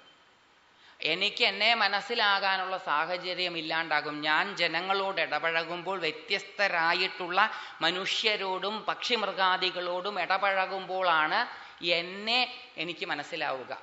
ഞാൻ മാറിയിട്ടുണ്ടോ എന്ന് എനിക്ക് മനസ്സിലാകണമെന്നുണ്ടെങ്കിൽ എനിക്ക് ബന്ധങ്ങൾ ബന്ധങ്ങളുള്ള ഈ ലോകത്ത് ജീവിക്കേണ്ടി വരും. ബന്ധം ബന്ധനമല്ലാണ്ടായിത്തീരും. അത് വേറെ കാര്യം. പക്ഷെ മാറ്റുരച്ച് നോക്കുന്നത് ഈ ലോകത്തു നിന്നാണ്. അതുകൊണ്ടാണ് നമ്മളുടെ മഹർഷീശ്വരന്മാരെല്ലാം തപസ് ചെയ്യാൻ ഒരു കാലം. അത് കഴിഞ്ഞാൽ കുറച്ച് കഴിഞ്ഞാൽ അവർ നാട്ടിലേക്ക് ഇറങ്ങി വരും. നാട്ടിലേക്ക് ഇറങ്ങി വന്ന് കുറച്ച് പെരുമാറി കഴിയുമ്പോൾ അവർ ഒന്നിലെ ദേഷ്യപ്പെടും എന്തെങ്കിലുമൊക്കെ ഒന്ന് ചെയ്യും. അപ്പോൾ അവർക്ക് മനസ്സിലാവും ശരിയായിട്ടില്ല എന്ന്. അപ്പോൾ ഒന്നുകൂടെ പോകും നമ്മൾ പറയണത് അതിനൊരു വ്യാഖ്യാനം പറയണത് ഇവർ കുറച്ച് എനർജിയൊക്കെ സ്റ്റോർ ചെയ്ത് ഇങ്ങോട്ട് വരികയാണ്. അപ്പൊ ഇവിടെ വന്നിട്ട് അനീതിയൊക്കെ കാണുമ്പം ആ എനർജി ശാപമായിട്ട് അങ്ങോട്ട് വിട്ടു. അത് കഴിഞ്ഞാൽ എനർജി ഡിപ്ലീഷൻ ഉണ്ടാവുന്നു. ഉടൻ റീസ്റ്റോർ ചെയ്യാൻ വേണ്ടിയിട്ട് തപസ് ചെയ്യാൻ പോവുകയാണെന്നാണ് ഒരു വ്യാഖ്യാനം. അതല്ല അവിടെ ഇരുന്ന് കുറേ കാലം ഈ കാട്ടിൽ ഏകതാനമായ ശബ്ദജാലങ്ങൾക്കിടയിലിരുന്ന് ധ്യാനം ചെയ്തുകൊണ്ടിരിക്കുമ്പോൾ ഈ ശബ്ദമൊക്കെ കേൾക്കാണ്ടാവും. കുയിലിന്റെ പാട്ട് എന്നും കേട്ടാൽ അതിന് വലിയ മധുരമൊന്നും ഉണ്ടാവില്ല. മണ്ണാത്തിപ്പുൾ എന്നും പാട്ടുപാടി തുടങ്ങിയാൽ അത് ശ്രദ്ധിക്കാതെയാകും. എന്നും പൂക്കൾ വിടരുകയും കായയാകുകയും ചെയ്യുമ്പോൾ അതിൽ ശ്രദ്ധയില്ലാണ്ടാകും. നിത്യസംഭവങ്ങളിൽ ശ്രദ്ധ കുറയും. അപ്പോൾ അവിടെ ഇരുന്ന് ഇങ്ങനെ ധ്യാനിക്കുകയാണ്. താൻ ധ്യാനിച്ചെത്തി എന്ന് വിചാരിക്കും. പുറത്തോട്ടിറങ്ങിക്കഴിഞ്ഞ് ജനങ്ങളോട് ഇടകപഴകുമ്പോഴാണ് അറ്റും അരകും ഒന്നും പൂർണമായിട്ട് ശരിയായിട്ടില്ല എന്ന് തിരിച്ചറിയുന്നത്. ദേഷ്യം വരുന്നുണ്ട് സങ്കടം വരുന്നുണ്ട് ആർത്തി വരുന്നുണ്ട് ആഗ്രഹങ്ങൾ ഉണ്ടാകുന്നുണ്ട്. അതുകൊണ്ട് ഒന്നും കൂടി എനിക്ക് പോയിരുന്ന് പോളിഷ് ചെയ്യണം തിരിച്ചു പോകും. പക്ഷെ അവരെ പുറത്തിറങ്ങി വന്ന് എന്ത് പ്രവർത്തിച്ചാലും അത് ജനോപകാരപ്രദമായിരിക്കും. കാരണം അവർക്ക് വേറെ അൾട്ടിമേറ്റ് ഇന്റി അൾട്ടീരിയർ എയിം ഒന്നുമില്ല. അവർക്ക് ലോക നന്മ മാത്രമേ ഉള്ളൂ. പക്ഷെ അവരതിലൂടെ അവരെ വീക്ഷിച്ച് അവർ തിരിച്ചു പോകും. അങ്ങനെ നിരന്തരമായിട്ടുള്ള റിട്രീറ്റിലൂടെയും നിരന്തരമായിട്ടുള്ള ജനസമ്പർക്കത്തിലൂടെയും ആണ് ആത്മവിശകലനം നടക്കുകയും ആത്മവിശകലനത്തിലൂടെ മാത്രമേ നമുക്ക് എത്തിയോ ഇല്ലയോ എന്ന് മനസ്സിലാവുകയും ചെയ്യുകയുള്ളൂ. ഇപ്പോൾ ഉള്ള ആൾക്കാർക്ക് സിദ്ധി ഉണ്ട് എന്ന് അവർ കൊട്ടിഘോഷിച്ചാലേ നമുക്ക് മനസ്സിലാവുള്ളൂ. അല്ലെ? കണ്ടാൽ ആരെയും കണ്ടാലും വലിയ വ്യത്യാസമൊന്നുമില്ല. വേഷങ്ങൾ കൊണ്ടോ മറ്റുള്ള അടയാളങ്ങൾ കൊണ്ടോ ഒന്നും നമുക്ക് തിരിച്ചറിയാൻ സാധിക്കുന്നില്ല. കൃഷ്ണനെ കാണുമ്പോൾ തന്നെ എല്ലാവർക്കും ആകർഷണം തോന്നിയിരുന്നു. ഇപ്പൊ പലരും കൃഷ്ണനാണെന്ന് പറഞ്ഞാലേ നമുക്ക് ആകർഷണം തോന്നുകയുള്ളൂ. ആ സിദ്ധികളെ കുറിച്ച് സ്വയം വിളംബരം നടത്തുന്നത് നിർത്തിയാൽ ഇന്നത്തെ പല സിദ്ധന്മാരും സിദ്ധന്മാരാണോ എന്ന് നമുക്ക് സംശയം തോന്നും അവർ വിളംബരം ചെയ്തിട്ട് തന്നെ നമുക്ക് സംശയം തോന്നുന്നു. ഇപ്പൊ വിളംബരം ചെയ്തില്ലെങ്കിലോ? ദുർവാസാവ് ഒരിക്കൽ പോലും പറഞ്ഞതായിട്ട് നമ്മുടെ പുരാണ ഇതിഹാസങ്ങളിലില്ല ഞാൻ മഹാസിദ്ധനാണെന്ന് അഗസ്ത്യർ ഒരിക്കൽ പോലും എവിടെയും പറഞ്ഞതായിട്ട് കേൾക്കുന്നില്ല ഞാൻ സപ്തസാഗരങ്ങളും വലിച്ചു കുടിച്ചവനാണ്. അതെല്ലാവർക്കും അറിയാവുന്ന കാര്യമാണ്. പൂവ് വിടർന്നാൽ അതിന് സുഗന്ധമാണ് എന്ന് പൂവ് വിളിച്ചറിയിക്കേണ്ട ആവശ്യമില്ല. തേൻ ഒരു തുള്ളി താഴെ വീണ് കഴിഞ്ഞാൽ തേൻ പരസ്യം കൊടുക്കേണ്ട ആവശ്യമില്ല ഞാൻ ഇതാ ഇവിടെയുണ്ട് ഉറുമ്പുകൾക്ക് വരാമെന്ന്. തേൻ വീണാൽ എവിടുന്നാണെന്നറിയില്ല ഉറുമ്പ് വരും. അതിന് അഡ്വർടൈസ്മെന്റ് ഇല്ല ഉച്ചഭാഷണികളില്ല ഒന്നുമില്ല. അപ്പൊ നൈസർഗികമായിട്ടുള്ള സത്ത അത് വെളിപ്പെട്ട് വരുമ്പോൾ താനെ അതറിയപ്പെടും. കൊട്ടി ഘോഷിക്കേണ്ട ആവശ്യമില്ല. അപ്പൊ നമ്മളിൽ ഈ പ്രപഞ്ച ഈ ലോകത്തുള്ള ജീവിതം നമുക്ക് നമ്മളെ മനസ്സിലാക്കാൻ അനിവാര്യമാണ്. അതുകൊണ്ട് ലോകത്ത് ജീവിക്കുമ്പോൾ മാത്രമേ യഥാർത്ഥത്തിലുള്ള തുഷ്ടി സംതൃപ്തി ആനന്ദം വൈരാഗ്യം ഉണ്ടോ എന്ന് പരിശോധിക്കാൻ സാധിക്കുകയുള്ളൂ. ശ്ലീലവും അശ്ലീലവും അറിയുന്ന ഒരാൾ അശ്ലീലം പ്രയോഗിക്കാതിരിക്കുന്നതാണ്. അശ്ലീലം എന്താണ് എന്നറിയാത്ത ഒരാൾ അത് പ്രയോഗിക്കാതിരിക്കുന്നതിലും ശ്രേഷ്ഠം. അശ്ലീലം അറിയാത്ത ഒരാൾ അശ്ലീല വാക്കുകൾ ഉപയോഗിക്കുകയില്ല കാരണം അയാൾക്ക് അറിയുകയില്ല. അറിഞ്ഞിട്ട് അതിൽ ശ്ലീലമായിട്ടുള്ളത് മാത്രമാണോ ഉപയോഗിക്കുന്നത് അയാളാണ് ശ്രേഷ്ഠൻ. അപ്പോൾ ഈ പ്രപഞ്ചത്തെ ഈ ജീവിതത്തെ തൊട്ടറിഞ്ഞതിന് ശേഷം സന്യാസം എന്നുള്ള വാക്കിന് അങ്ങനെ ഒരു അർത്ഥമുണ്ട്. സമ്യക്കാകും വണ്ണം ന്യസിച്ചതിന് ശേഷം തൊട്ടറിഞ്ഞതിന് ശേഷം അതിനെ ഉപേക്ഷിക്കുകയാണ്. ഉപേക്ഷിക്കേണ്ട ആവശ്യമില്ല. നല്ലോണം ഓരോ വസ്തുവിനെയും പറ്റി മനസ്സിലാക്കി കഴിഞ്ഞാൽ അത് ഉപേക്ഷിക്കപ്പെട്ടു പോയിക്കൊള്ളും. ഏതുപോലെയാണോ ഒരു കായ പഴുത്താൽ പാകമായാൽ ഒരിളം കാറ്റിന് അതിനെ തട്ടി താഴെ ഇടാൻ പറ്റുന്നത്. അത് പഴുക്കുന്നതിന് മുമ്പ് കൊടുങ്കാറ്റ് പോലും അതിനെ താഴെ വീഴ്ത്തില്ല. അപ്പോൾ ആ പാകമായത് കൊഴിഞ്ഞു പോകുന്ന പോകണമെങ്കിൽ ജീവിതവുമായിട്ട് ബന്ധം ഉണ്ടാവണം ജീവിതവുമായിട്ട് ബന്ധമില്ലാത്ത ഒരു ആധ്യാത്മികതയ്ക്കും ഭാരതീയ സംസ്കൃതിയിൽ സ്ഥാനമുണ്ടായിരുന്നില്ല. സന്യാസത്തിലേക്ക് എത്തുക ബ്രഹ്മചര്യവും ഗാർഹസ്ഥ്യവും വാനപ്രസ്ഥവും കഴിഞ്ഞിട്ടായിരുന്നു. ബ്രഹ്മചര്യത്തിൽ തന്റെ ജീവിത ലക്ഷ്യത്തിന് വേണ്ടുന്ന അറിവുകളും സാമഗ്രികളും സമ്പാദിക്കും. ബ്രഹ്മത്തിലേക്കുള്ള ചര്യയാണ് ബ്രഹ്മചര്യം. അത് സെലിബസിയൊക്കെ ആയത് പിന്നെയാണ്. ഈ എത്ര അതായത് പഠിക്കാനുള്ള കാലഘട്ടമായിട്ടാണ് ബ്രഹ്മചര്യത്തെ പറയുന്നത്. എത്ര കാലം പഠിക്കണം? പന്ത്രണ്ട് വയസ്സ് വരെ പഠിച്ചാൽ മതിയോ? പതിനഞ്ച് വയസ്സ് വരെ പഠിച്ചാൽ മതിയോ? ഇരുപത് വയസ്സ് വരെ പഠിച്ചാൽ മതിയോ? ജീവിതകാലം മുഴുവനും അനിവാര്യമായ ഒരു സംഗതിയാണ് സ്വാധ്യായം. സ്വാധ്യായം മുടങ്ങാൻ പാടില്ല എന്ന് കുമാരില ഭട്ടൻ എന്നും സ്വാധ്യായം ചെയ്യണം. എന്നും സ്വാധ്യായം ചെയ്യേണ്ടത് അനിവാര്യമാണ്. പഠനം എന്നും മരണം വരെ ആവശ്യമാണ്. അതുകൊണ്ട് മരണം വരെ ഒരാൾ ബ്രഹ്മചാരിയായിരിക്കണം. ഈ താൻ പഠിച്ച അറിവ് പ്രയോഗിക്കുമ്പോൾ തനിക്കൊരു കൂട്ട് ആവശ്യമാണെന്ന് തോന്നുമ്പോൾ തോന്നുകയാണെങ്കിൽ ആ കൂട്ടാണ് ഗാർഹസ്ഥ്യം. വിവാഹം കഴിക്കുന്ന സമയത്ത് വൈ ഉപയോഗിക്കുന്ന വൈദിക മന്ത്രങ്ങളിൽ ഒന്ന് സഹധർമ്മം ചര എന്നാണ്. നിങ്ങൾ രണ്ടുപേരും കൂടി ഒരുമിച്ച് ഒരാളെ മറ്റേയാൾ അടിമയല്ല രണ്ടുപേരും കൂടി ഒരുമിച്ച് ധർമ്മത്തിന്റെ പന്ഥാവിലൂടെ ചരിക്കാനാണ് ആഹ്വാനം. ഭാര്യയുടെ ധർമ്മത്തിൽ ഭർത്താവും ഭർത്താവിന്റെ ധർമ്മത്തിൽ ഭാര്യയും സഹായിക്കുന്നു എന്നുള്ളതുകൊണ്ട് അവർ ജീവിത പങ്കാളികളാകുന്നു. ഭർത്താവ് മരിച്ചുപോയ സ്ത്രീക്കും സ്ത്രീ മരിച്ചുപോയ ഭാര്യ മരിച്ചുപോയ ഭർത്താവിനും പുനർവിവാഹം ചെയ്യുവാനുള്ള അധികാരം വേദങ്ങളിൽ കൊടുത്തിട്ടുണ്ട്. അഥർവവേദത്തിൽ സ്ത്രീ മരി ഭർത്താവ് മരിച്ച സ്ത്രീയോട് ആ ഭർത്താവിന്റെ സഹോദരനോ പുത്രനോ പറയുന്ന ഒരു റിക്കുണ്ട്. അല്ലയോ സ്ത്രീയെ മരിച്ചവരുടെ ലോകത്ത് നിന്നും ജീവിക്കുന്നവരുടെ ലോകത്തിലേക്ക് തിരിച്ചുപോയി നിന്റെ ധർമ്മത്തിന് നിന്നെ സഹായിക്കാൻ പറ്റുന്ന ഒരാളെ സ്വീകരിച്ചു കൊള്ളുക അഥർവവേദത്തിലുള്ളതാണ്. അപ്പൊ ധർമ്മത്തിൽ ചരിക്കാൻ വേണ്ടിയുള്ള പങ്കാളിയാണ് ഭാര്യാഭർത്തൃ ബന്ധം. ആ ധർമ്മ സഞ്ചാരത്തിന് സഹായകമാണ് പുത്രപൗത്രാദികൾ. അപ്പൊ കുടുംബം ഉണ്ടാകുന്നത് ധാർമ്മികമായിട്ടുള്ള ലക്ഷ്യത്തിലേക്ക് പോകാനുള്ള ഒരു ഉപാധിയാണ്. ഇപ്പൊ കൂ ആ താന്റെ അറിവ് പ്രയോഗിക്കുമ്പോൾ തനിക്കൊരു കൂട്ടാവശ്യമാണെന്ന് തോന്നുമ്പോൾ എടുക്കുന്നതാണ് ഗാർഹസ്ഥ്യം. അങ്ങനെ തന്റെ അറിവ് പ്രയോഗിക്കുമ്പോൾ പ്രയോഗിച്ചത് ശരിയായോ ഇല്ലയോ എന്നിടയ്ക്കൊന്ന് നടത്തണം. ഒരു ഒരു ഒരു വിശകലനം നടത്തണം. അപ്പോൾ പ്രവൃത്തി മേഖലകളിൽ നിന്നൊന്ന് വിട്ട് വാനപ്രസ്ഥം ഒന്ന് മാറി നിന്ന് ഉള്ളിലേക്ക് വലിഞ്ഞ് തന്റെ അറിവും തന്റെ പ്രവൃത്തിയും തമ്മിൽ ഒരുമിച്ച് പോകുന്നുണ്ടോ? തന്റെ അറിവിൽ എന്തെങ്കിലും മാറ്റം വരുത്തേണ്ട ആവശ്യമുണ്ടോ? തന്റെ പ്രവൃത്തിയിൽ എന്തെങ്കിലും മാറ്റം വരുത്തേണ്ട ആവശ്യമുണ്ടോ? എന്ന് വിശകലനം ചെയ്യുന്നത് വാനപ്രസ്ഥം. അങ്ങനെ ബ്രഹ്മചര്യ ഗാർഹസ്ഥ്യ വാനപ്രസ്ഥങ്ങളിലൂടെ ഒരാൾ ദൈനംദിന ജീവിക്കുമ്പോൾ ദിനം പ്രതി ജീവി ജീവിക്കുമ്പോൾ അയാളിൽ സ്വാഭാവികമായിട്ടുണ്ടാകുന്നതാണ് ഈ വിട്ടുപോകൽ. അയാൾക്ക് സ്വാഭാവികമായിട്ടും ആസക്തി കുറഞ്ഞു വരികയും അയാൾ സന്യാസത്തിലേക്ക് പോവുകയും ചെയ്യും. താമര ഇല പോലെ ആയിത്തീരുമെന്നർത്ഥം താമര ഇല അപ്പോഴും വെള്ളത്തിലാണ് കിടക്കുന്നത്. അപ്പോൾ ജീവിതത്തിൽ തന്നെയാണ് ഇവർ കിടക്കുക. ജീവിതത്തിൽ നിന്ന് വിട്ടുമാറി പോകുന്നില്ല. പക്ഷെ ഒന്നിനോട് മൊട്ടലുകളില്ലാതെ ഏതുപോലെയാണോ താമരയില കിടക്കുന്നത് അതുപോലെ ഈ സംസാര സാഗരത്തിൽ ഒന്നിനോടും ഒട്ടലില്ലാതെ നമുക്ക് ജീവിക്കാൻ സാധിക്കും. അപ്പൊ നിരന്തരമായിട്ടുള്ള ലക്ഷ്യത്തിലേക്ക് എത്തുവാൻ സഹായിക്കുന്ന പഠനം ബ്രഹ്മചര്യം. ആ പഠനത്തിന് പങ്കാളികളും കൂട്ടാളികളും ആവശ്യമാണെങ്കിൽ ഉണ്ടാകുന്നത് ഗാർഹസ്ഥ്യം. തന്റെ അറിവും പ്രവൃത്തിയും പുനഃപരിശോധിക്കുന്നത് വാനപ്രസ്ഥം. ആ പരിശോധനയിലൂടെ തള്ളേണ്ടതിനെ തള്ളുകയും കൊള്ളേണ്ടതിനെ കൊള്ളുകയും ചെയ്യുന്നത് സന്യാസം. ഈ നാലാശ്രമങ്ങളും എന്നും ഒരാൾ അനുഷ്ഠിക്കേണ്ടതാണ്. കുറച്ചു കാലം ബ്രഹ്മചര്യം കുറച്ചു കാലം ഗൃഹസ്ഥം കുറച്ചു കാലം വാനപ്രസ്ഥം കുറച്ചു കാലം സന്യാസം അങ്ങനെയല്ല. കാരണം ഇത് നാലും കൂടി ചേരുമ്പോഴേ പൂർണതയിലേക്ക് പോവുള്ളൂ. അപ്പോൾ ജീവിത കളരിയിൽ നിന്നാൽ മാത്രമേ ഈ പറഞ്ഞ സന്തോഷം തുഷ്ടി ഉണ്ടോ എന്ന് മനസ്സിലാവുകയുള്ളൂ. ആഹാരത്തിന് പ്രിയമുണ്ടോ ഇല്ലയോ എന്നറിയാൻ പട്ടിണി കിടന്നാൽ പറ്റില്ല. ആഹാരത്തിന് പ്രിയമുണ്ടോ ഇല്ലയോ എന്നറിയണമെങ്കിൽ വിഭവ സമൃദ്ധമായിട്ടുള്ള സദ്യയ്ക്ക് മുമ്പിലിരിക്കണം.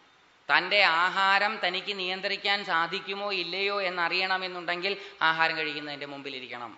ഈ ലോകത്തിനോടുള്ള എന്റെ ആസക്തി കുറഞ്ഞോ ഇല്ലയോ എന്നറിയണമെന്നുണ്ടെങ്കിൽ ലോകത്ത് സഞ്ചരിച്ചേ പറ്റൂ. അതുകൊണ്ട് ലോകവുമായിട്ട് ബന്ധപ്പെട്ടിട്ടാണ് അധ്യാത്മികത. കാട്ടിപ്പോയിരിക്കുന്നത് അധ്യാത്മികതയുടെ ഒരു ചെറിയ കാലയളവിൽ ആവശ്യമായിരിക്കാം. പക്ഷേ അത് മുഴുവൻ സമയവുമായാൽ അത് ഭാരതീയ സംസ്കൃതി ചില വിരാഗികളുണ്ട്. വളരെ ഉയർന്ന തലത്തിലുള്ള ചില വിരാഗികൾ അവർക്ക് പോകാം. അതിന് വളരെ തുലവും ഒരു കയ്യുടെ വിരലിൽ എണ്ണാവുന്ന അത്ര പേര് മാത്രമേ ഉണ്ടാവുകയുള്ളൂ. അപ്പോൾ എക്സെപ്ഷൻസ് നിയമമാവില്ല. സാമാന്യം മാത്രമാണ് നിയമം. അപ്പം ഇതാണ് സാമാന്യ തത്വം. കാരണം ഇതൊക്കെ പറയുമ്പോഴും സ്മൃതികൾ പറയുന്നുണ്ട് ചെറുപ്പത്തിലെ വിരക്തി വന്നാൽ സന്യസിക്കാം ഗാർഹസ്ഥ്യവും വാനപ്രസ്ഥവും ആവശ്യമില്ല എന്ന് പറയുന്നുണ്ട്. അത് വളരെ അപൂർവമായിട്ടുള്ള കർമ്മപാകം വന്ന ജന്മങ്ങൾ ഇപ്പൊ തുഷ്ടി രൂപേണ വർത്തിക്കുന്നത് സന്തോഷമായിട്ട് വർത്തിക്കുന്നത് ദേവിയാണ്. ആ സന്തോഷം ഒരു വസ്തുവിലും ആഗ്രഹമില്ലായ്മയും ആണ്.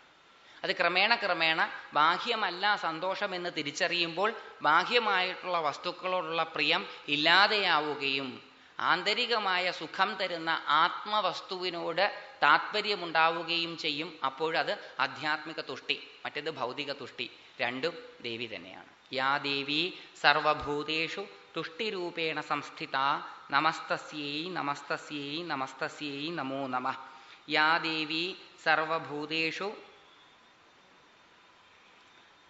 മാതൃരൂപേണ സംസ്ഥിത നമസ്തസ്യൈ നമസ്തസ്യൈ നമസ്തസ്യ യാ ദേവി സർവഭൂതേഷു മാതൃരൂപേണ സംസ്ഥിത നമസ്തസ്യൈ നമോ നമ യാ ദേവി സർവഭൂതേഷു മാതൃരൂപേണ സംസ്ഥിത നമസ്തസ്യൈ നമോ നമ.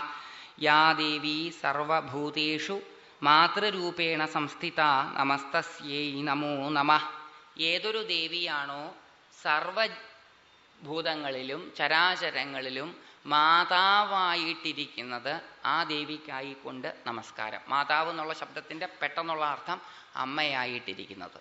വളർത്തുകയും പോഷിപ്പിക്കുകയും ചെയ്യുന്ന ശക്തി ആരാണോ ആ ശക്തി അമ്മയാണ്. ഏതൊരു വസ്തുവിനെയും സൃഷ്ടിച്ച് പരിപോഷിപ്പിച്ച് വളർത്തുന്ന ശക്തി അമ്മയാണ്. അത് മനുഷ്യന്റെ അമ്മ മാത്രമാണ് എന്ന് ധരിക്കരുത്.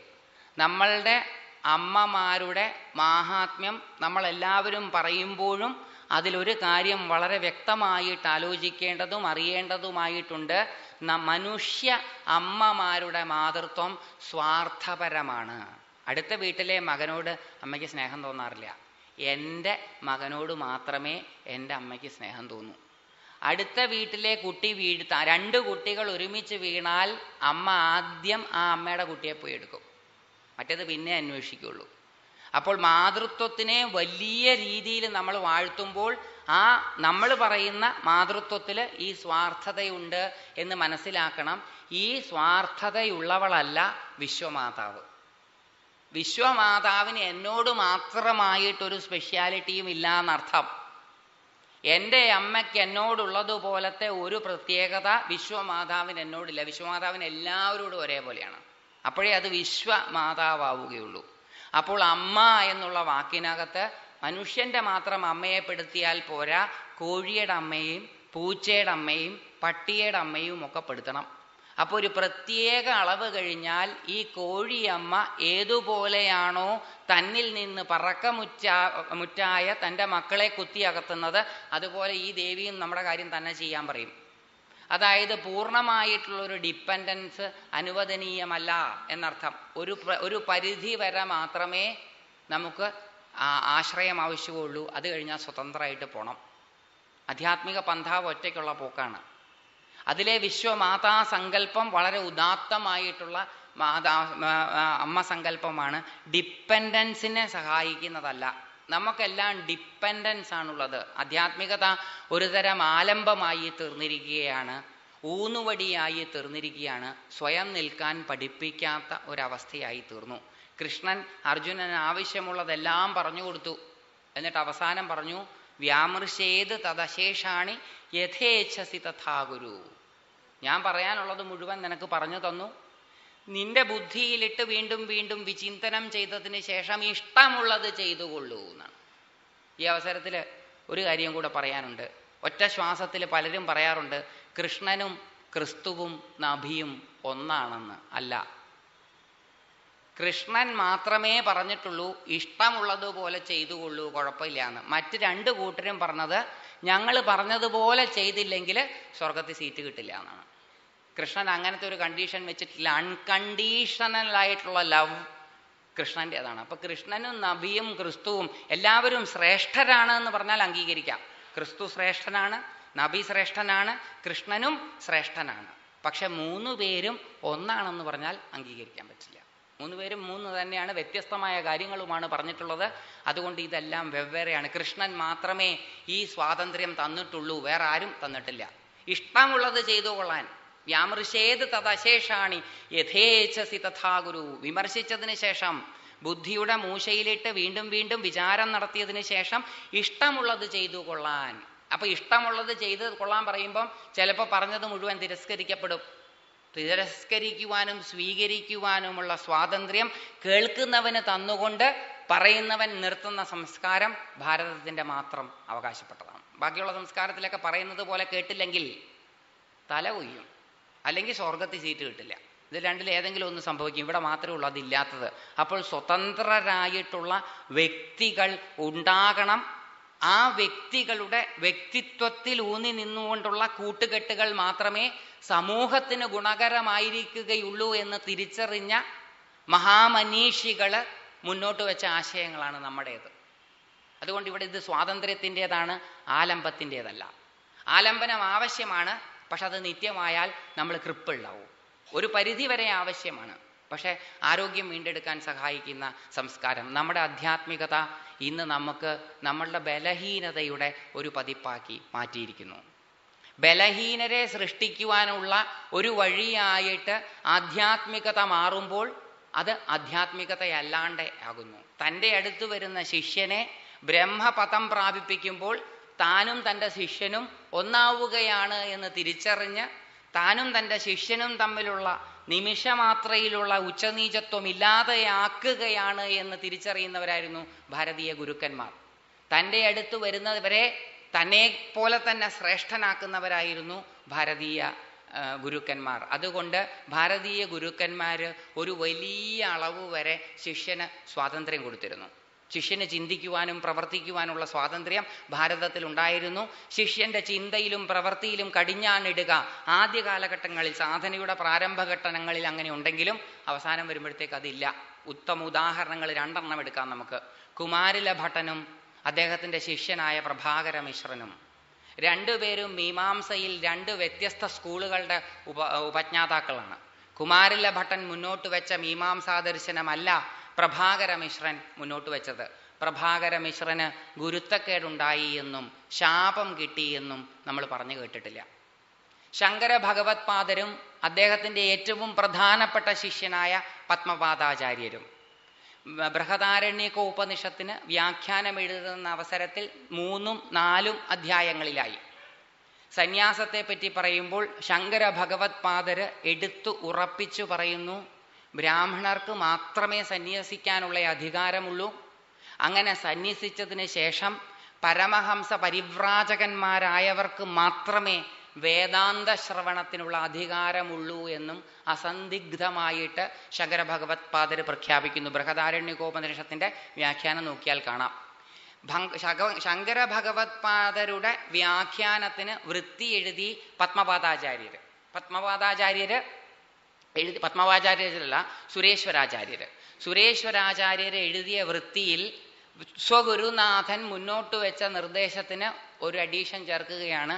ബ്രാഹ്മണർക്ക് മാത്രമല്ല സന്യസിക്കാനുള്ള അധികാരം ശ്രുതി കൊടുത്തിട്ടുള്ളത് സ്മൃതിയും കൊടുത്തിട്ടുള്ളത് ത്രൈവർണികർക്ക് മുഴുവനുമാണെന്ന്. ക്ഷത്രിയ വൈശ്യന്മാർക്കും സന്യസിക്കാനുള്ള അധികാരമുണ്ട് എന്ന് സുരേശ്വരാചാര്യർ സുരേശ്വരാചാര്യർ ബൃഹദാരണ്യകോപനിഷത്തിന്റെ ശങ്കര ഭാഷ്യത്തിന് വൃത്തി എഴുതിയപ്പോൾ പറഞ്ഞു. സുരേശ്വരാചാര്യർക്ക് ശാപം കിട്ടിയതായിട്ടും ഗുരുത്തക്കേടുള്ളതായിട്ടും നമ്മൾ വായിക്കുന്നില്ല. അപ്പോൾ ഗുരുവിന്റെ ആശയങ്ങളിൽ നിന്ന് ഭിന്നമായിട്ടുള്ള ആശയങ്ങളിലൂടെ ചരിക്കുവാനുള്ള സ്വാതന്ത്ര്യം ഈ നാട്ടിൽ ഉണ്ടായിരുന്നു. ഇപ്പം ഇല്ല. ഇപ്പൊ ഗുരുക്കന്മാർ പറയണത് ഞാൻ പറയുന്നത് പോലെ കേട്ടില്ല എന്നുണ്ടെങ്കിൽ നിനക്ക് ദുരിതമാണ്. ഇപ്പമുള്ള ഗുരുശിക്ഷ പാരമ്പര്യം അത് ഏത് സമ്പ്രദായത്തിലേതായാലും അതൊരു തരം അടിമത്വത്തിന്റെ സമ്പ്രദായമായി മാറിക്കൊണ്ടിരിക്കുകയാണ്. ഭാരതീയർക്ക് അജ്ഞാതമായിരുന്നു ഇത്. സ്വതന്ത്രരാകാൻ വേണ്ടിയിട്ടാണ് ശിഷ്യൻ ഗുരുവിന്റെ അടുത്ത് പോകുന്നത്. ഗുരുവിന്റെ കേമത്വം കണ്ട് ഗ്ലാമർ കണ്ട് പ്രശസ്തി കണ്ട് മയങ്ങി ആ ഗുരുവിന്റെ ശിഷ്യനാണ് താനെന്ന് മറ്റുള്ളവരെ കാണിക്കാൻ വേണ്ടി അല്ലായിരുന്നു അവരൊരു ഗുരുവിന്റെ അടുത്ത് പോകുന്നത്. ആത്മോത്കർഷം ഇച്ഛിച്ചിട്ടാണ് പോകുന്നത്. ദശ വിജയദശമി നാളിൽ സമിത്പാണിയായിട്ട് ഗുരുവിന്റെ അടുത്ത് ചെന്ന് പറയുന്നത് എനിക്ക് മോചനത്തിനുള്ള ബ്രഹ്മപദപ്രാപ്തിക്കുള്ള വഴി കാണിച്ചു തന്നാലും എന്നാണ്. ശിഷ്യന് ബ്രഹ്മപദപ്രാപ്തിക്കുള്ള വഴി കാണിച്ചു കൊടുക്കാമെന്നുള്ളതാണ് ശിഷ്യനെ ഏറ്റെടുക്കുമ്പോൾ ഗുരു നടത്തുന്ന പ്രതിജ്ഞ. അത് ലംഘിക്കാൻ ഗുരുവിന് അധികാരമില്ല. അപ്പോൾ ഇവിടെ ഗുരു ശിഷ്യ ബന്ധങ്ങൾ പോലും ബന്ധനങ്ങളോ അടിമത്വമോ ആയിരുന്നില്ല. ശിഷ്യന്റെ സ്വേച്ഛയാ ഉള്ള വളർച്ച സ്വമേധയാ ഉള്ള വളർച്ച അതിനൊന്നും ഗുരു തടസ്സമായിരുന്നില്ല. ഗുരുവിന്റെ ചിന്തകളിൽ നിന്ന് വിഭിന്നമായിട്ടുള്ള ചിന്തകൾ പോലും ചിന്തിക്കുവാനുള്ള സ്വാതന്ത്ര്യം ഈ നാട്ടിൽ ഉണ്ടായിരുന്നു എന്നുള്ളതിന്റെ തെളിവാണ് ഗീതയിൽ കൃഷ്ണൻ പറഞ്ഞതും കുമാരിലഭട്ടനും പ്രഭാകരമിശ്രനും പത്മ സുരേശ്വരാചാര്യരും ശങ്കര ഭഗവത്പാദരും ആശയങ്ങളുടെ വ്യത്യാസങ്ങളൊന്നും ഗുരുശിഷ്യ പാരമ്പര്യത്തെയും പാരസ്പര്യത്തെയും ബാധിച്ചിരുന്നില്ല. ബാധിച്ചിരുന്നില്ല എന്നുള്ളത് കൊണ്ടാണ് ഒരേ ദേവതയെ ഉപാസിക്കാൻ പല വഴികളുണ്ടായത്. ആ വ്യത്യാസങ്ങളെല്ലാം ഇന്ന് പോയി. ഇന്ന് ഇതെല്ലാം ഒരു ബലഹീനന്റെ ആയുധങ്ങളായി തീർന്നിരിക്കുന്നു. നമുക്ക് താങ്ങും തണലും ആവശ്യമാണ്. മുഴുവൻ സമയമല്ല.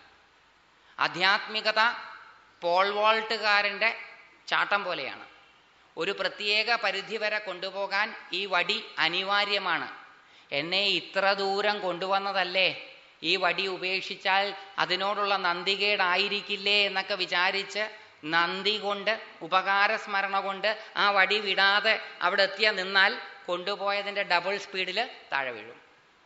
അപ്പോൾ ഈ വടി ഒരു പ്രത്യേക ഘട്ടം എത്തിയാൽ ഉപേക്ഷിക്കപ്പെടേണ്ടതാണ് എന്ന് തിരിച്ചറിയണം. താനും തന്റെ ശിഷ്യന് ഒരു കാലത്ത് ആവശ്യമില്ലാതെയാകണം. എന്ന് മനസ്സിലാക്കുന്ന ഗുരുവിന് മാത്രമേ ശിഷ്യരെ മുന്നോട്ട് നയിക്കാൻ പറ്റുള്ളൂ. അതുകൊണ്ട് ഗുരുശിഷ്യ ബന്ധമൊക്കെ പരമ സ്വാതന്ത്ര്യത്തിലേക്കുള്ള വഴികളായിരുന്നു ഭാരതത്തിൽ അതിൽ പാരതന്ത്ര്യമില്ല. അതിൽ യാതൊരു രീതിയിലുള്ള അടിമത്വ മനോഭാവവും ഉണ്ടായിരുന്നില്ല. ശിഷ്യൻ സ്വതന്ത്രനായിരുന്നു ഗുരുവും സ്വതന്ത്രനായിരുന്നു ആ സ്വാതന്ത്ര്യത്തിലുള്ള പാരസ്പര്യമായിരുന്നു അവർ തമ്മിൽ ഉണ്ടായിരുന്നത് ആ രീതിയിൽ അമ്മ എല്ലാത്തിനെയും വളർത്തുന്നത് ഗുരു അമ്മയുടെ രൂപമാണ്. തന്റെ മകനെ വളർത്തുന്നത് പോലെ പോഷണത്തിന് ആവശ്യമായിട്ടുള്ളത് കൊടുത്തുകൊണ്ടും പോഷണത്തിന് അഹിതകരമായിട്ടുള്ളത് മാറ്റിക്കൊണ്ടും അതാണ് ആദ്യ കാലഘട്ടങ്ങളിലെ സാധന. അവിടെ ചെയ്യരുതാത്തതും ചെയ്യുന്നതും അതുപോലെയാണ്. ഒരു പ്രത്യേക ഘട്ടം എത്തിക്കഴിഞ്ഞാൽ പിന്നെ നിനക്ക് ഇഷ്ടമുള്ളതുപോലെ ചെയ്യാം എന്നാണ് തന്ത്രശാസ്ത്രത്തിൽ സപ്തോല്ലാസങ്ങളെ പറ്റി പറയും. ആരംഭം തരുണം യൗവനം പ്രൗഢം പ്രൗഢാന്തം ഉന്മനി അനാഖ്യ. അങ്ങനെ ഏഴ് ഉല്ലാസങ്ങളെ പറ്റി പരാമർശമുണ്ട്. ഈ ഇതിലെ ആദ്യത്തെ നാല് ഉല്ലാസങ്ങൾ ആരംഭം തരുണം യൗവനം പ്രൗഢം. ഈ നാല് ഉല്ലാസങ്ങളും തമ്മിലുള്ള വകതിരിവ് ഉള്ളിൽ ഉണ്ടാകുന്ന ആനന്ദത്തിന്റെ ആധിക്യത്തെ ബേസ് ചെയ്തിട്ടാണ്. ഉള്ളിലുണ്ടാകുന്ന ആനന്ദത്തിന്റെ ആധിക്യം മനസ്സിലാക്കാൻ ചില വഴികളും തന്ത്രഗ്രന്ഥങ്ങൾ പറയുന്നു. എന്നിട്ട് ആരംഭ തരുണ യൗവന പ്രൗഢ ഉല്ലാസവാനായി കഴിഞ്ഞാൽ പിന്നെ വരുന്ന മൂന്നെണ്ണം പ്രൗഢാന്തം ഉന്മനി അനാഖ്യ. ഈ മൂന്ന് ഉല്ലാസങ്ങളിൽ എത്തുന്ന ആൾക്കാർ സ്വേച്ഛാചാരിയാണ്. അതുവരെ ശാസ്ത്രാചാരിയാണ്. ആരംഭം തരുണം യൗവനം പ്രൗഢം ഇത് നാലും ശാസ്ത്രാചാരിയും. അവസാനത്തെ മൂന്നെണ്ണം സ്വേച്ഛാചാരിയുമാണ്. അപ്പോൾ പ്രൗഢം വരെയുള്ള സാധകൻ ശാസ്ത്രവും ഗുരുവും പറയുന്നത് അച്ചിട്ട പോലെ അനുസരിച്ചേ പറ്റുള്ളൂ. പ്രൗഢാന്തനായി കഴിഞ്ഞാൽ പിന്നെ സ്വേച്ഛാചാരമാണ്. ആരാ തീരുമാനിക്കുന്നത്? ഇതിൽ താൻ സ്വേച്ഛാചാരിയാണോ ശാസ്ത്രാചാരിയാണോ എന്ന്. ഗുരുവാണോ താനാണോ? ശാസ്ത്രം പറയുന്നു സാധകനാണ്. അതുകൊണ്ട് താൻ ഏത് ആചാരപ്രകാരമാണ് സാധന ചെയ്യേണ്ടത് എന്ന് തിരിച്ചറിയേണ്ടത് അനിവാര്യമായതുകൊണ്ട് ബുദ്ധിമാനെ മാത്രമേ ദീക്ഷിക്കാൻ പാടുള്ളൂ എന്ന് ശാസ്ത്രം.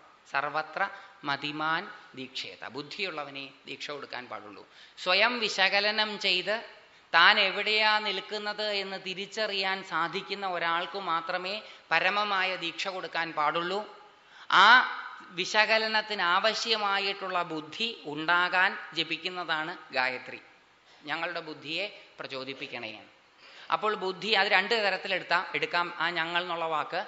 ഒന്ന് കളക്റ്റീവായിട്ടുള്ള സമൂഹത്തിലുള്ള എല്ലാവരുടെയും എല്ലാത്തിന്റെയും ബുദ്ധി പ്രചോദിപ്പിക്കണേ. കാരണം എനിക്ക് മാത്രമായിട്ടൊരു സുഖമില്ല എന്ന ഒരു അർത്ഥം. രണ്ടാമത്തെ അർത്ഥം നമ്മുടെ ശരീരത്തിനും നമ്മുടെ മനസ്സിനും നമ്മുടെ ബുദ്ധിക്കും അതിന്റേതായിട്ടുള്ള ഒരു ബുദ്ധിയുണ്ട്. ശരീരത്തിന്റെ ബുദ്ധിയെ മനസ്സുകൊണ്ട് തല്ലിക്കെടുത്തുക നമ്മൾ ആ ശരീരത്തിന്റെ ബുദ്ധിയും മനസ്സിന്റെ ബുദ്ധിയും ബുദ്ധിയുടെ ബുദ്ധിയും പ്രചോദിതമാകുമ്പോൾ ശരീരത്തിന് ഓരോ സാഹചര്യത്തിലും എന്താ ചെയ്യേണ്ടത് എന്താ ചെയ്യേണ്ടാത്തത് എന്നറിയാൻ സാധിക്കും. മനസ്സിന് ഓരോ സമയത്തും എന്താ ചെയ്യേണ്ടത് എന്താ ചെയ്യേണ്ടാത്തത് എന്നറിയാൻ സാധിക്കും ബുദ്ധിക്കും അതേപോലെ. ഞങ്ങളുടെ ബുദ്ധിയെ പ്രചോദിപ്പിക്കണേ എന്ന് പറഞ്ഞാൽ മനസ്സിന്റെയും ശരീരത്തിന്റെയും ബുദ്ധിയുടെയും ബുദ്ധിയെ പ്രചോദിപ്പിക്കണേ എന്ന് അർത്ഥം. അങ്ങനെ വ്യക്തിഗതമായിട്ട് ഞങ്ങൾ എന്നുള്ള അർത്ഥം എടുക്കാം. സാമൂഹ്യപരമായിട്ടും ഞങ്ങൾ എന്നുള്ള അർത്ഥം എടുക്കാം. ഏതെടുത്താലും നമ്മൾ എവിടെയാണോ നിൽക്കുന്നത് അതനുസരിച്ചിട്ടുള്ള അർത്ഥം. അപ്പോൾ ബുദ്ധി പ്രചോദിതമായി കഴിഞ്ഞ ഒരാൾക്ക് മാത്രമേ ഈ സാധനയിൽ മുന്നോട്ട് പോകാൻ പറ്റുള്ളൂ. അപ്പോൾ അയാൾ നിഷ്കപടനും ആത്മാർത്ഥതയുള്ളവനുമായിരിക്കണം. താൻ എത്തി എന്ന് മറ്റുള്ളവരെ കാണിക്കുവാനുള്ള വെമ്പൽ കൊണ്ട് സാധകനാകുന്ന ഒരാൾക്ക് ശരിക്കും താൻ എവിടെയാ എത്തിയതെന്ന് മനസ്സിലാവില്ല. അപ്പോൾ അയാൾ സ്വയം പറ്റിക്കുകയും മറ്റുള്ളവരെ പറ്റിക്കുകയും ചെയ്യും. അപ്പോൾ സ്വയം പറ്റിക്കാനോ മറ്റുള്ളവരെ പറ്റിക്കുവാനോ അധികാരമില്ലാത്തത് കൊണ്ട് സ്വവിശകലനത്തിലൂടെയും സ്വയം നിരീക്ഷണത്തിലൂടെയുമാണ് തന്റെ ഉയർച്ച മനസ്സിലാക്കേണ്ടത് എന്നുള്ളത് കൊണ്ട് താൻ എവിടെയാ നിൽക്കുന്നത് എന്ന് തിരിച്ചറിയാൻ പറ്റുന്ന ഒരാൾക്ക് മാത്രമേ ഇവിടെ ദീക്ഷ കൊടുക്കാൻ അധികാരമുള്ളൂ. ഈ പറഞ്ഞ ഗ്രന്ഥം ഇപ്പം ഞാനിത് കോട്ട് ചെയ്തത് പരശുരാമകൽപസൂത്രം എന്ന സാധനാ ഗ്രന്ഥത്തിൽ നിന്നാണ്. അപ്പോൾ ഇതുപോലെ ഏത് ഗ്രന്ഥത്തിലും കാണാം. എനിക്ക് പരിചിതമായ ഒരു ഗ്രന്ഥം ഞാൻ പറഞ്ഞു എന്ന് മാത്രം. അപ്പൊ അതുകൊണ്ട് ഇതെല്ലാം വളരെ സൂക്ഷിച്ച് ചെയ്യുന്ന ആൾക്കാർക്കുള്ളതാണ്. ഇവിടെ പരമമായ ഉത്തരവാദിത്വം സാധകനും ശിഷ്യനുമാണ്. ഗുരു ഒരു ഫെസിലിറ്റേറ്റർ ഒരു പോയിന്റർ ഒരു സഹായി മാത്രമാണ്. പറ്റിക്കപ്പെട്ടു എന്ന് നമുക്ക് പരാതി ഉണ്ടെങ്കിൽ അതിന്റെ ഉത്തരവാദി നമ്മൾ മാത്രമാണ്. പറ്റിക്കപ്പെടാൻ നമ്മൾ ആഗ്രഹിച്ചത് കൊണ്ടാണ് നമ്മൾ പറ്റിക്കപ്പെട്ടത്. നാട്ടിലുള്ള എല്ലാവരെയും പറ്റിക്കുന്നില്ലല്ലോ ആരും. അപ്പം അതുകൊണ്ട് നമ്മൾ മറ്റേ ആൾക്കാരുടെ നേരെ വിരലുകൾ ചൂണ്ടി പറയുന്നതിന് മുമ്പ് നമ്മൾ സ്വയം വിശകലനം ചെയ്യണം. ഊന്നുവടികൾ നമുക്ക് ആവശ്യമില്ല. ഒരു പരിധിവരെ നമുക്ക് ആവശ്യമായിരിക്കാം. പക്ഷെ അത് കഴിഞ്ഞാൽ ഊന്നുവടികളെ ഉപേക്ഷിക്കുവാൻ നമുക്ക് വിഷമമുണ്ടാകരുത്. ഊന്നുവടികളാകുന്നവർക്കും ഉപേക്ഷിക്കപ്പെടുമ്പോൾ വിഷമമുണ്ടാവരുത്. ഊന്നുവടികളാണ് ഗുരുക്കന്മാർ അതുകൊണ്ട് അവർക്കറിയാം പുഴ കടത്തിക്കഴിഞ്ഞാൽ ഏതുപോലെയാണോ കടത്തുകാരന്റെ ആവശ്യമില്ലാത്തത്. അതുപോലെ സംസാര സാഗരത്തെ കടത്തിക്കഴിഞ്ഞാൽ ശിഷ്യന് ഗുരുവിന്റെ ആവശ്യമില്ല കാരണം ശിഷ്യനും ഗുരുവും അവിടെ ഇല്ല.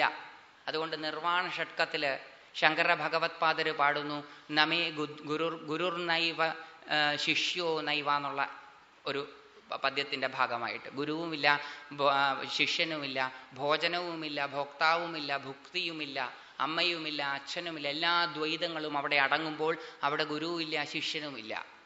അപ്പോൾ ഇത് മനസ്സിലാക്കിക്കൊണ്ട് താൻ ഒരു കാലത്ത് തിരസ്കൃതനാകും എന്ന് മനസ്സിലാക്കിക്കൊണ്ട് വേറൊരാൾക്ക് സഹായിയായിരിക്കാൻ കഴിയുന്ന വിശാല ആത്മാവാണ് ഗുരു. അതുകൊണ്ടാണ് ഗുരു കുറച്ച് കനപ്പെട്ട് നിൽക്കുന്നത്. കാരണം തന്നെ ഒരു പരിധി കഴിഞ്ഞാൽ തന്റെ ശിഷ്യന് ആവശ്യമില്ലാതെ വരികയും താൻ ഉപേക്ഷിക്കപ്പെടും. ശിഷ്യന് ഗുരുവിന് അങ്ങനെ തോന്നുന്നൊന്നുമില്ല. നമ്മൾ ആപേക്ഷിക്ക ശബ്ദം ഉപയോഗിക്കുമ്പോൾ അങ്ങനെ പറഞ്ഞു എന്നേ ഉള്ളൂ. ഉപേക്ഷിക്കപ്പെടുകയും ചെയ്യുമെന്ന് മനസ്സിലാക്കിയിട്ടും തിരസ്കൃതനാകാൻ വേണ്ടി സ്വീകൃതനാകുന്നവൻ ആരോ? അവൻ ഗുരു. അത് ചെറിയ മനോഭാവമുള്ളവർക്ക് പറ്റില്ല. ഞാൻ ഒരു കാലത്ത് വേണ്ടാത്തവനാകുമെന്ന് അറിഞ്ഞുകൊണ്ട് വേറൊരാളെ സഹായിക്കണമെങ്കിൽ അത് വലിയ വിശാലമായ ഹൃദയമുള്ളവന് മാത്രമേ മനസ്സിലാവുക സാധിക്കുകയുള്ളൂ. അതുകൊണ്ട് ഗുരുക്കന്മാര് വളരെ വിശാലരാണ് എന്ന് പറയാൻ കാരണം അതാണ്. അപ്പൊ അതുകൊണ്ട് ഈ മാതൃശബ്ദം ഗുരു ശബ്ദത്തിലും പെടും. അമ്മയെ പോലെയാണ് ഗുരു. കുഞ്ഞിനെ തന്റെ ഗർഭപാത്രത്തിൽ ചുമന്ന് ആ ഗർഭപാത്രത്തിൽ ആ കുഞ്ഞായിരിക്കുന്ന സമയത്ത് ആ കുഞ്ഞിന് വേണ്ടുന്ന സകല പോഷകാംശങ്ങളും തന്നിൽ നിന്ന് തന്നെ വലിച്ചെടുക്കാൻ അനുവാദം കൊടുത്ത് അതിന് സ്വതന്ത്രമാകാൻ സാധിക്കും എന്ന് മനസ്സിലാകുമ്പോൾ അതിനെ പുറത്തേക്ക് തള്ളി. പുറത്തേക്ക് തള്ളുമ്പോഴും തന്റെ സഹായം അനിവാര്യമാണ് എന്ന് മനസ്സിലാക്കിക്കൊണ്ട് അതിന് വളരാനുള്ള പോഷകങ്ങൾ മുഴുവൻ കൊടുത്തുകൊണ്ട് അത് പറക്കമുറ്റാകുമ്പോൾ സ്വതന്ത്രമാവുകയാണ് വേണ്ടത് എന്ന് തിരിച്ചറിഞ്ഞ് അതിനെ തള്ളിവിടുന്നതാണ് അമ്മ. സ്വന്തം കാലിൽ നിൽക്കാൻ സഹായിക്കുന്നതാണ് അമ്മ. എപ്പോഴും നമ്മളെ പരിരക്ഷിച്ചു കൊണ്ടിരിക്കുന്നതല്ല അമ്മ. അമ്മയ്ക്ക് ചില റോളുകൾ പല ഘട്ടങ്ങളിലായിട്ടുണ്ട്. അതുകൊണ്ട് തന്റെ ഉള്ളിൽ ചുമന്ന് തന്റെ ശിഷ്യനാകാൻ പോകുന്നയാളെ തന്റെ മനസ്സിൽ ചുമന്ന് അയാളുടെ പൂർവജന്മാർജിതമായിട്ടുള്ള സഞ്ചിത കർമ്മങ്ങളെ മുഴുവൻ തന്റെ മനസ്സിലിട്ട് ഇല്ലാതെയാക്കി അയാളെ പുറത്തു അയാൾക്ക് പുറത്ത് ആവശ്യമായിട്ടുള്ള സാധനങ്ങളെല്ലാം പറഞ്ഞുകൊടുത്ത് അയാൾ സ്വയം വലുതായി കഴിയുമ്പോൾ അയാളെ സ്വതന്ത്രനാക്കുന്നതാണ് ഭാരതീയ സംസ്കാരം. മഹാഭാരതം നാരദ മഹർഷി അഞ്ച് ശിഷ്യന്മാർക്ക് ഉപദേശിച്ചു കൊടുത്തു എന്ന് മഹാഭാരതം ആദ്യത്തെ പർവം അനുശാസനാ പർവമാണെന്ന് തോന്നുന്നു. അഞ്ചു പേരുടെ പേരെനിക്ക് കൃത്യമായിട്ട് ഓർമ്മ വരുന്നില്ല. ആ അഞ്ചു പേരും അഞ്ച് മഹാഭാരതം ഉണ്ടാക്കി എന്നാ പറയണത്. നാരദ ഭഗവാൻ പറഞ്ഞു കൊടുത്ത ഏകമായ കഥ അഞ്ചു പേരും വ്യത്യസ്തമായിട്ടുള്ള അഞ്ച് തരത്തിലാണ് അത്രേ പ്രചരിപ്പിച്ചത്. അവരഞ്ചും അവരുടേതായിട്ടുള്ള മഹാഭാരതം ഉണ്ടാക്കി എന്ന് മഹാഭാരതം പറയുന്നു. അതിനുള്ള സാങ്ഷൻ ഈ നാട്ടിലുണ്ടായിരുന്നു.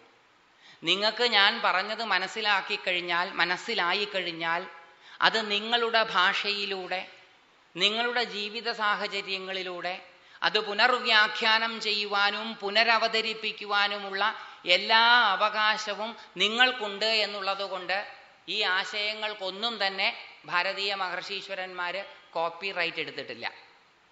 ഇപ്പം എന്തെങ്കിലും ഒരു പുതിയ ആശയം ഈശ്വരാധീനം കൊണ്ട് ആർക്കെങ്കിലും ഉണ്ടായാൽ അത് എന്റേതാണ് എന്നുറപ്പിക്കാൻ വേണ്ടി അതിന് കോപ്പി റൈറ്റും പേറ്റൻസിയും എടുക്കുമ്പോൾ മഹർഷീശ്വരന്മാരുടെ ലോകത്ത് നിന്ന് നമ്മൾ മാറിപ്പോണു.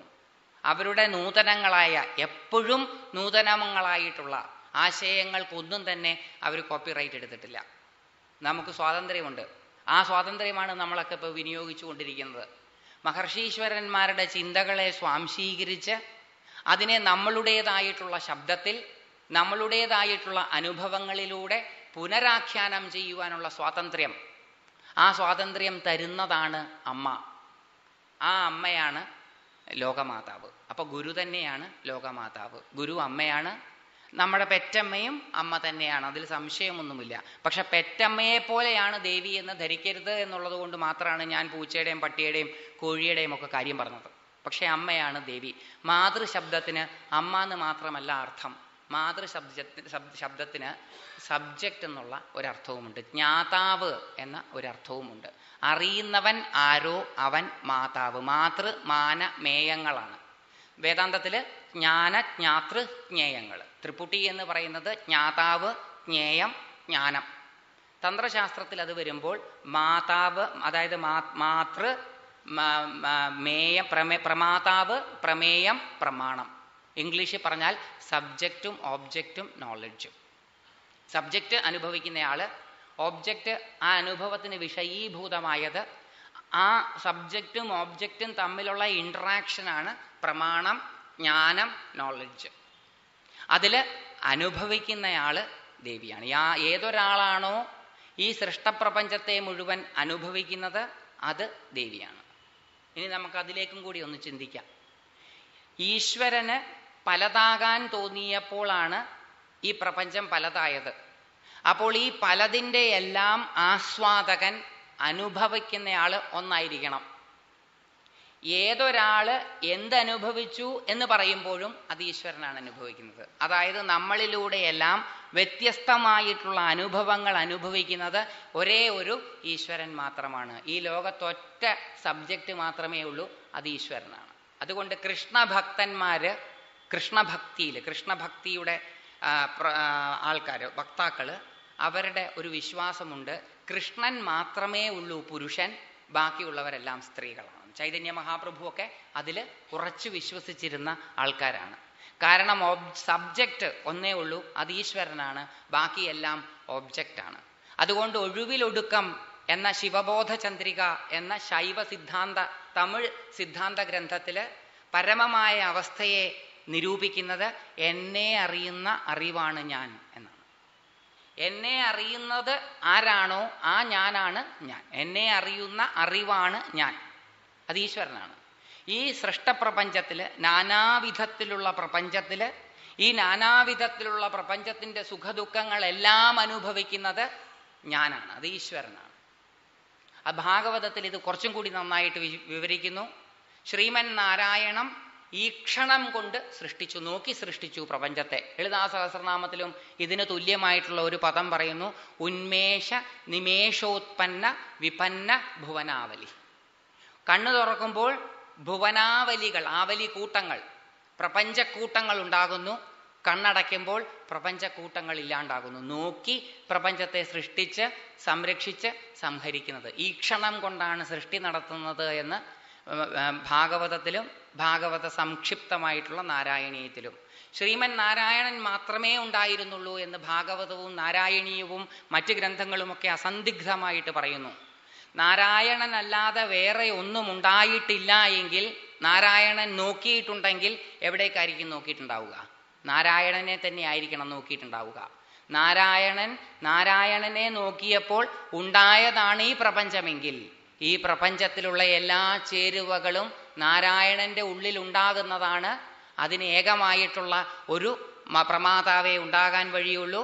അത് സാക്ഷാൽ നാരായണനാണ് വളരെ മനോഹരമായിട്ട് എഴുത്തച്ഛൻ അത് പാടിത്തരുന്നു. അർക്കാനലാതി വെളിവൊക്കെ ഗ്രഹിക്കും ഒരു കണ്ണിനു കണ്ണുമനമാകുന്ന കണ്ണതിനു കണ്ണായിരിക്കും പൊരുൾ. താനെന്നറിവളവാനന്ദമെന്തു ഹരി? നാരായണായ നമ. ആ എന്നെ അറിയുമ്പോൾ ഉണ്ടാവുന്ന അനുഭവമാണ് ആനന്ദം. അപ്പൊ എല്ലാ വ്യത്യസ്തമായിട്ടുള്ള ഗ്രന്ഥങ്ങളിലൂടെയെല്ലാം ഈ ഒരേ സത്യമാണ് മാറി മാറി പറഞ്ഞു തരാൻ അവർ ആഗ്രഹിച്ചിരുന്നത് ഏതൊരു ഈശ്വരീയ ശക്തിയാണോ പ്രമാതാവായി ഇരുന്നു കൊണ്ട് ഈ പ്രപഞ്ചത്തെ മുഴുവൻ അനുഭവവേദ്യമാക്കുന്നത് ആ പ്രമാതാവായിരിക്കുന്നത് ഈശ്വരൻ. എന്റെയും നിങ്ങളുടെയും അനുഭവങ്ങൾ മുഴുവൻ വാസ്തവത്തിൽ അനുഭവിക്കുവാൻ വേണ്ടി അതിലൂടെയുള്ള രസം ആസ്വദിക്കാൻ വേണ്ടി ഈശ്വരൻ പലതായി പലതായി എന്ന് പറയുമ്പോൾ നമ്മൾ വിചാരിക്കും ഒരു സ്ഫടിക പാത്രം താഴെ വീണ് പലതാകുന്നത് പോലെ ആയി എന്ന് ധരിക്കരുത്. പലതായി എന്നുള്ളത് ഭാഷയുടെ പരിമിതി കൊണ്ട് പറയേണ്ടി വരുന്നതാണ്. ഈ പലതും അതിനകത്ത് തന്നെയാണ്. തന്റെ ഉള്ളിൽ തന്നെ താൻ കാണുന്ന താനാണ് ഈ പ്രപഞ്ചം. അതുകൊണ്ട് ദക്ഷിണാമൂർത്തി സ്തോത്രത്തിൽ ശങ്കര ഭഗവത്പാദര് പറയുന്നു ദർപ്പണത്തിൽ കണ്ണാടിയിൽ കാണുന്ന ദൃശ്യമാണ് പ്രപഞ്ചം. പ്രമാതാവ് പ്രമേയമാകുന്ന തന്നിൽ തന്നെ നോക്കുമ്പോൾ കാണുന്ന താനാണ് ഈ പ്രപഞ്ചം. ദേവി കണ്ണാടിയും ശിവൻ അഗ്നിയുമാണ്. ശിവനാകുന്ന അഗ്നി കണ്ണാടിയാകുന്ന ശക്തി രണ്ടും ഒന്ന് തന്നെയാണ്. കാരണം രണ്ടും രൂപവുമായിട്ട് ബന്ധപ്പെട്ടതാണ്. അഗ്നി അഗ്നിയാണ് രൂപം. ഫോമായി തീരുന്നത് അഗ്നിയാണ്. ആ അഗ്നിയെ പ്രതിബിംബിക്കാൻ സഹായിക്കുന്നതാണ് കണ്ണാടി. അപ്പോൾ ശിവൻ ശിവനാകുന്ന ശക്തി അത് കണ്ണാടി അതിൽ നോക്കുമ്പോൾ ദൃശ്യമാകുന്നതാണ് ദർപ്പണത്തിൽ ദൃശ്യമാകുന്നതാണ് ഈ പ്രപഞ്ചം. ഇതെല്ലാം പല ഭാഷകളിൽ ഒരേ കാര്യമാണ് പറയാൻ നോക്കിയത്. അപ്പോൾ ഒറ്റ പ്രമാതാവേ ഉള്ളൂ അത് ഈശ്വരനാണ്. ഞാൻ ഞാൻ അനുഭവിച്ചു എന്ന് പറയുമ്പോഴും നിങ്ങൾ ഞാൻ അനുഭവിച്ചു എന്ന് പറയുമ്പോഴും വാസ്തവത്തിൽ അനുഭവിക്കുന്നത് ഈശ്വരൻ മാത്രമാണ് എന്നറിയുമ്പോൾ എന്നിലൂടെ എന്റെ അനുഭവങ്ങളെയെല്ലാം ആഹരിക്കുന്നതും അനുഭവിക്കുന്നതും ഈശ്വരനാണ് എന്ന് ഈ ചെറിയ ഞാൻ തിരിച്ചറിഞ്ഞാൽ ബുദ്ധി കൊണ്ടെങ്കിലും മനസ്സിലാക്കിയാൽ എന്റെ ഈശ്വരന് ഞാൻ ഏറ്റവും പരിശുദ്ധമായതും ഏറ്റവും നല്ലതും മാത്രമേ കൊടുക്കാൻ പാടുള്ളൂ എന്നും എനിക്ക് മനസ്സിലാകും. അപ്പോൾ എന്റെ ജീവിതം എപ്പോഴും ശുദ്ധമായിരിക്കുവാനും വൃത്തിയുള്ളതായിരിക്കുവാനും ഞാൻ തീരുമാനിക്കും. മറ്റേ വഴിയല്ല തീരുമാനിക്കുക. മറ്റേ വഴി തീരുമാനിച്ച ഭക്തനല്ല എന്നർത്ഥം. ഈശ്വര ഭക്തനായിട്ടുള്ള ഈശ്വരനിൽ സമർപ്പിതനായിട്ടുള്ള എനിക്ക് തിരിച്ചറിയുകയാണ്. എന്നിലൂടെ അനുഭവങ്ങളെല്ലാം അനുഭവിക്കുന്നത് ഈശ്വരനാണ് എന്ന് തിരിച്ചറിഞ്ഞാൽ ഞാൻ നല്ലവണ്ണം കാണാൻ ശ്രമിക്കും. കാരണം എന്നിലൂടെ കാണുന്നത് ഈശ്വരനാണ്. നല്ലവണ്ണം കേൾക്കാൻ ശ്രമിക്കും. അപ്പോൾ തെറ്റിദ്ധാരണ ഉണ്ടാവില്ല. കാരണം എന്നിലൂടെ കേൾക്കുന്നത് ഈശ്വരനാണ്. എൻ നല്ലവണ്ണം രുചിക്കാൻ ശ്രമിക്കും അപ്പോൾ ആരോഗ്യം ഉണ്ടാവും എന്നിലൂടെ രുചിക്കുന്നത് ഈശ്വരനാണ്. എന്റെ ഇന്ദ്രിയങ്ങളിലൂടെ ഞാൻ അനുഭവിക്കുന്നതെല്ലാം വാസ്തവത്തിൽ അല്ലയോ അമ്മേ അവിടുന്ന് അനുഭവിക്കുന്നതായതുകൊണ്ട് എന്റെ ജീവിതം മുഴുവൻ അവിടുത്തേക്കുള്ള ആരാധനയായി തീരുന്നു. സൗന്ദര്യ ലഹരിയിലെ ശങ്കര ഭഗവത് പാദര് ജപോ ജൽപ ശില്പം സകലമപി മുദ്രാവിരചന ഗതി പ്രാദക്ഷിണ്യക്രമണം അശനാദ്യാഹുതി വിധി. പ്രണാമ സംവേശ സുഖമഖിലമാത്മാർപ്പണ ദൃശാസപര്യാപര്യായ തവ ഭവതു എന്മേ വിലസിതമല്ലയോ അമ്മേ. എന്റെ വാക്കുകൾ അമന്ത്രം അക്ഷരം നാസ്തി. അക്ഷരങ്ങളല്ലാത്ത മന്- മന്ത്രങ്ങളല്ലാത്ത അക്ഷരങ്ങളില്ലാത്തതുകൊണ്ട് എന്റെ വിടുവായിത്തരങ്ങൾ എന്റെ പരദൂഷണങ്ങൾ എന്റെ വൃഥാ കഥാലാപനങ്ങൾ എല്ലാം അമ്മേ അവിടുത്തേക്കുള്ള ജപങ്ങളായി തീരട്ടെ.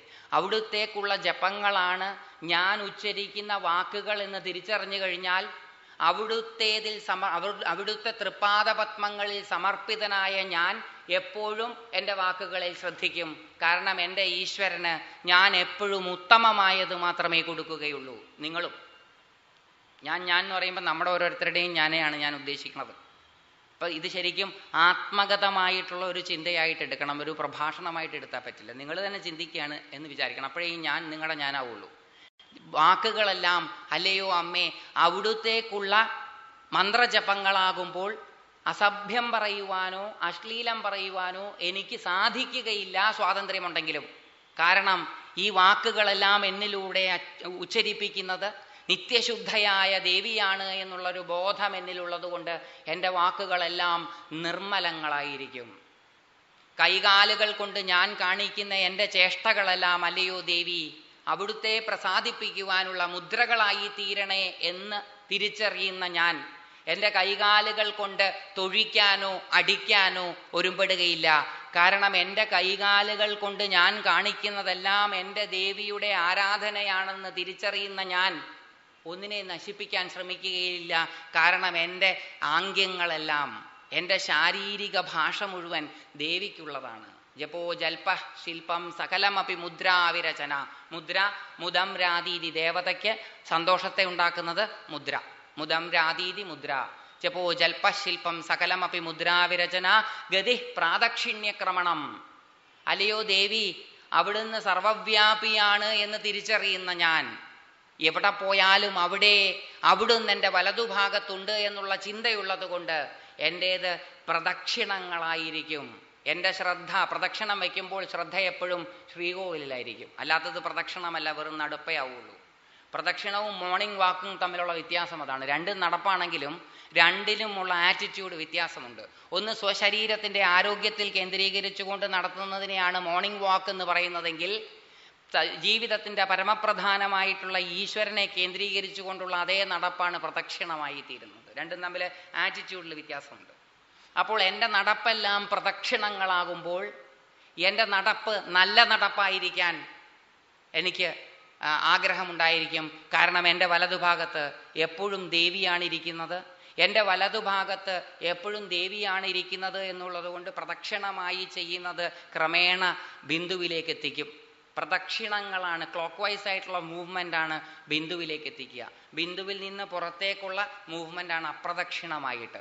അപ്പോൾ പ്രദക്ഷിണം എന്ന് പറഞ്ഞാൽ ഈശ്വരോന്മുഖമായിട്ടുള്ള പ്രയാണം നല്ല വെണ്ണമുള്ള അടിവെപ്പ് സമ്പത്തിലേക്ക് എന്നെ നയിപ്പിക്കും. സമ്യക്കാകും വെണ്ണമുള്ള പദം വെപ്പ് സമ്പത്ത്. അപ്പോൾ ദേവി എന്റെ ചുറ്റുമുണ്ട് എന്റെ കൂടെയുണ്ട് എന്നുള്ള പരമബോധ്യം എന്റെ നടപ്പ് നല്ല നടപ്പാക്കി തീർക്കും. ജപോ ജൽപ ശില്പം സകലമപി മുദ്രാവിരചനാഗതി പ്രാദക്ഷിണ്യക്രമണം അശനാദ്യാഹുതി വിധി. ഗീതയിൽ ഭഗവാൻ പറഞ്ഞിട്ടുണ്ട് അഹം വൈശ്വാനരോ ഭൂത്വാ പജാമ്യന്നം ചതുർവിധം. അല്ലയോ കൃഷ്ണ?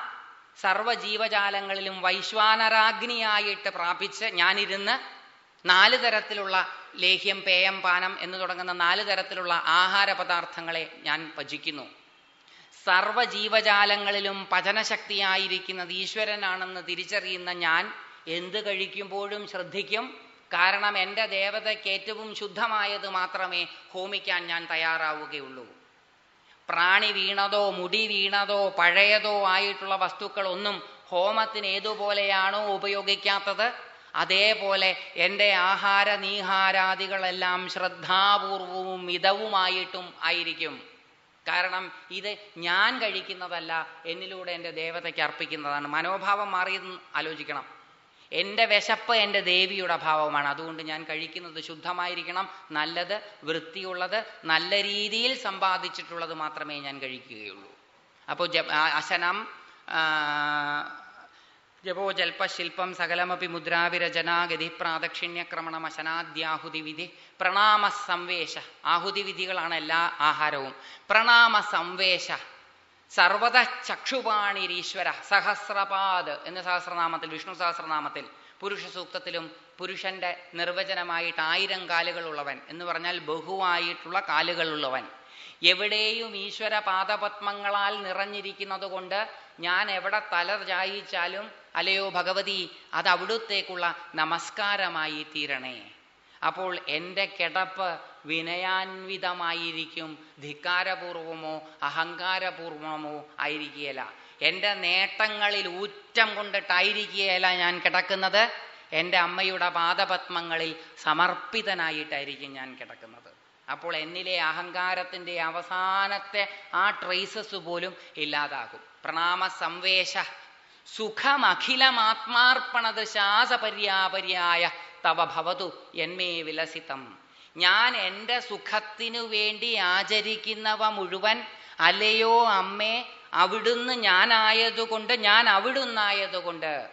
ഞാൻ എന്റെ സുഖത്തിനു വേണ്ടി ആചരിക്കുന്നവയെല്ലാം അവിടുത്തെ സുഖത്തിനു വേണ്ടിയായി തീരട്ടെ അതെല്ലാം അവിടുത്തെ പൂജകളായി തീരട്ടെ എന്ന് പറയുമ്പോൾ ജീവിതം മുഴുവനും ആരാധനയായി മാറുകയാണ്.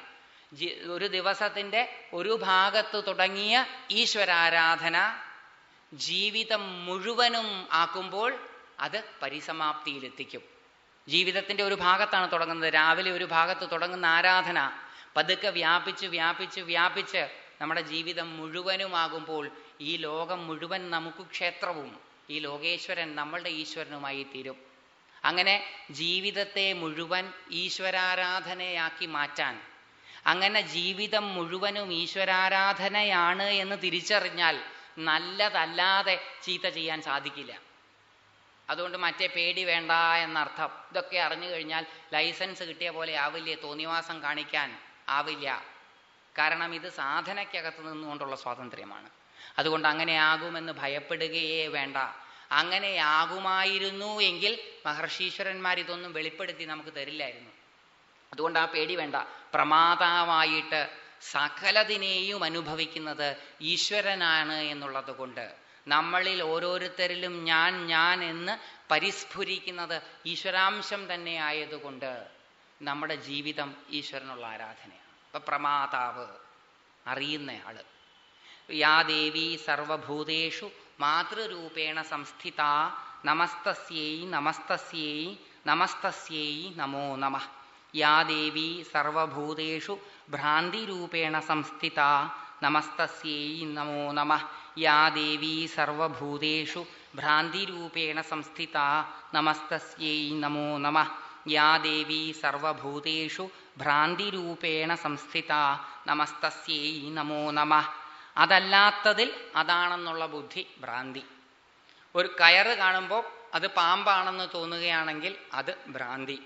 മരീചിക കാണുമ്പോൾ മിറാഷ് കാണുമ്പോൾ അത് വെള്ളമാണെന്ന് തോന്നുന്നത് ഭ്രാന്തി. അങ്ങനെ യഥാർത്ഥത്തിൽ ഒരു വസ്തു എന്താണോ അതല്ല എന്ന് തോന്നിപ്പിക്കുന്നതാണ് ഭ്രാന്തി. ഈ ഭ്രാന്തി ആർക്കാണുള്ളത്? ഭ്രാന്തി ഉള്ളവൻ ഭ്രാന്തൻ. അപ്പം നമ്മളെല്ലാവരും ഈ ഭ്രാന്തിയുടെ ക്ലാസിഫിക്കേഷനിൽ വരും. നമ്മളെല്ലാവരും ഭ്രാന്തി ഉള്ളവരായതുകൊണ്ട് ഭ്രാന്തന്മാരാണ്.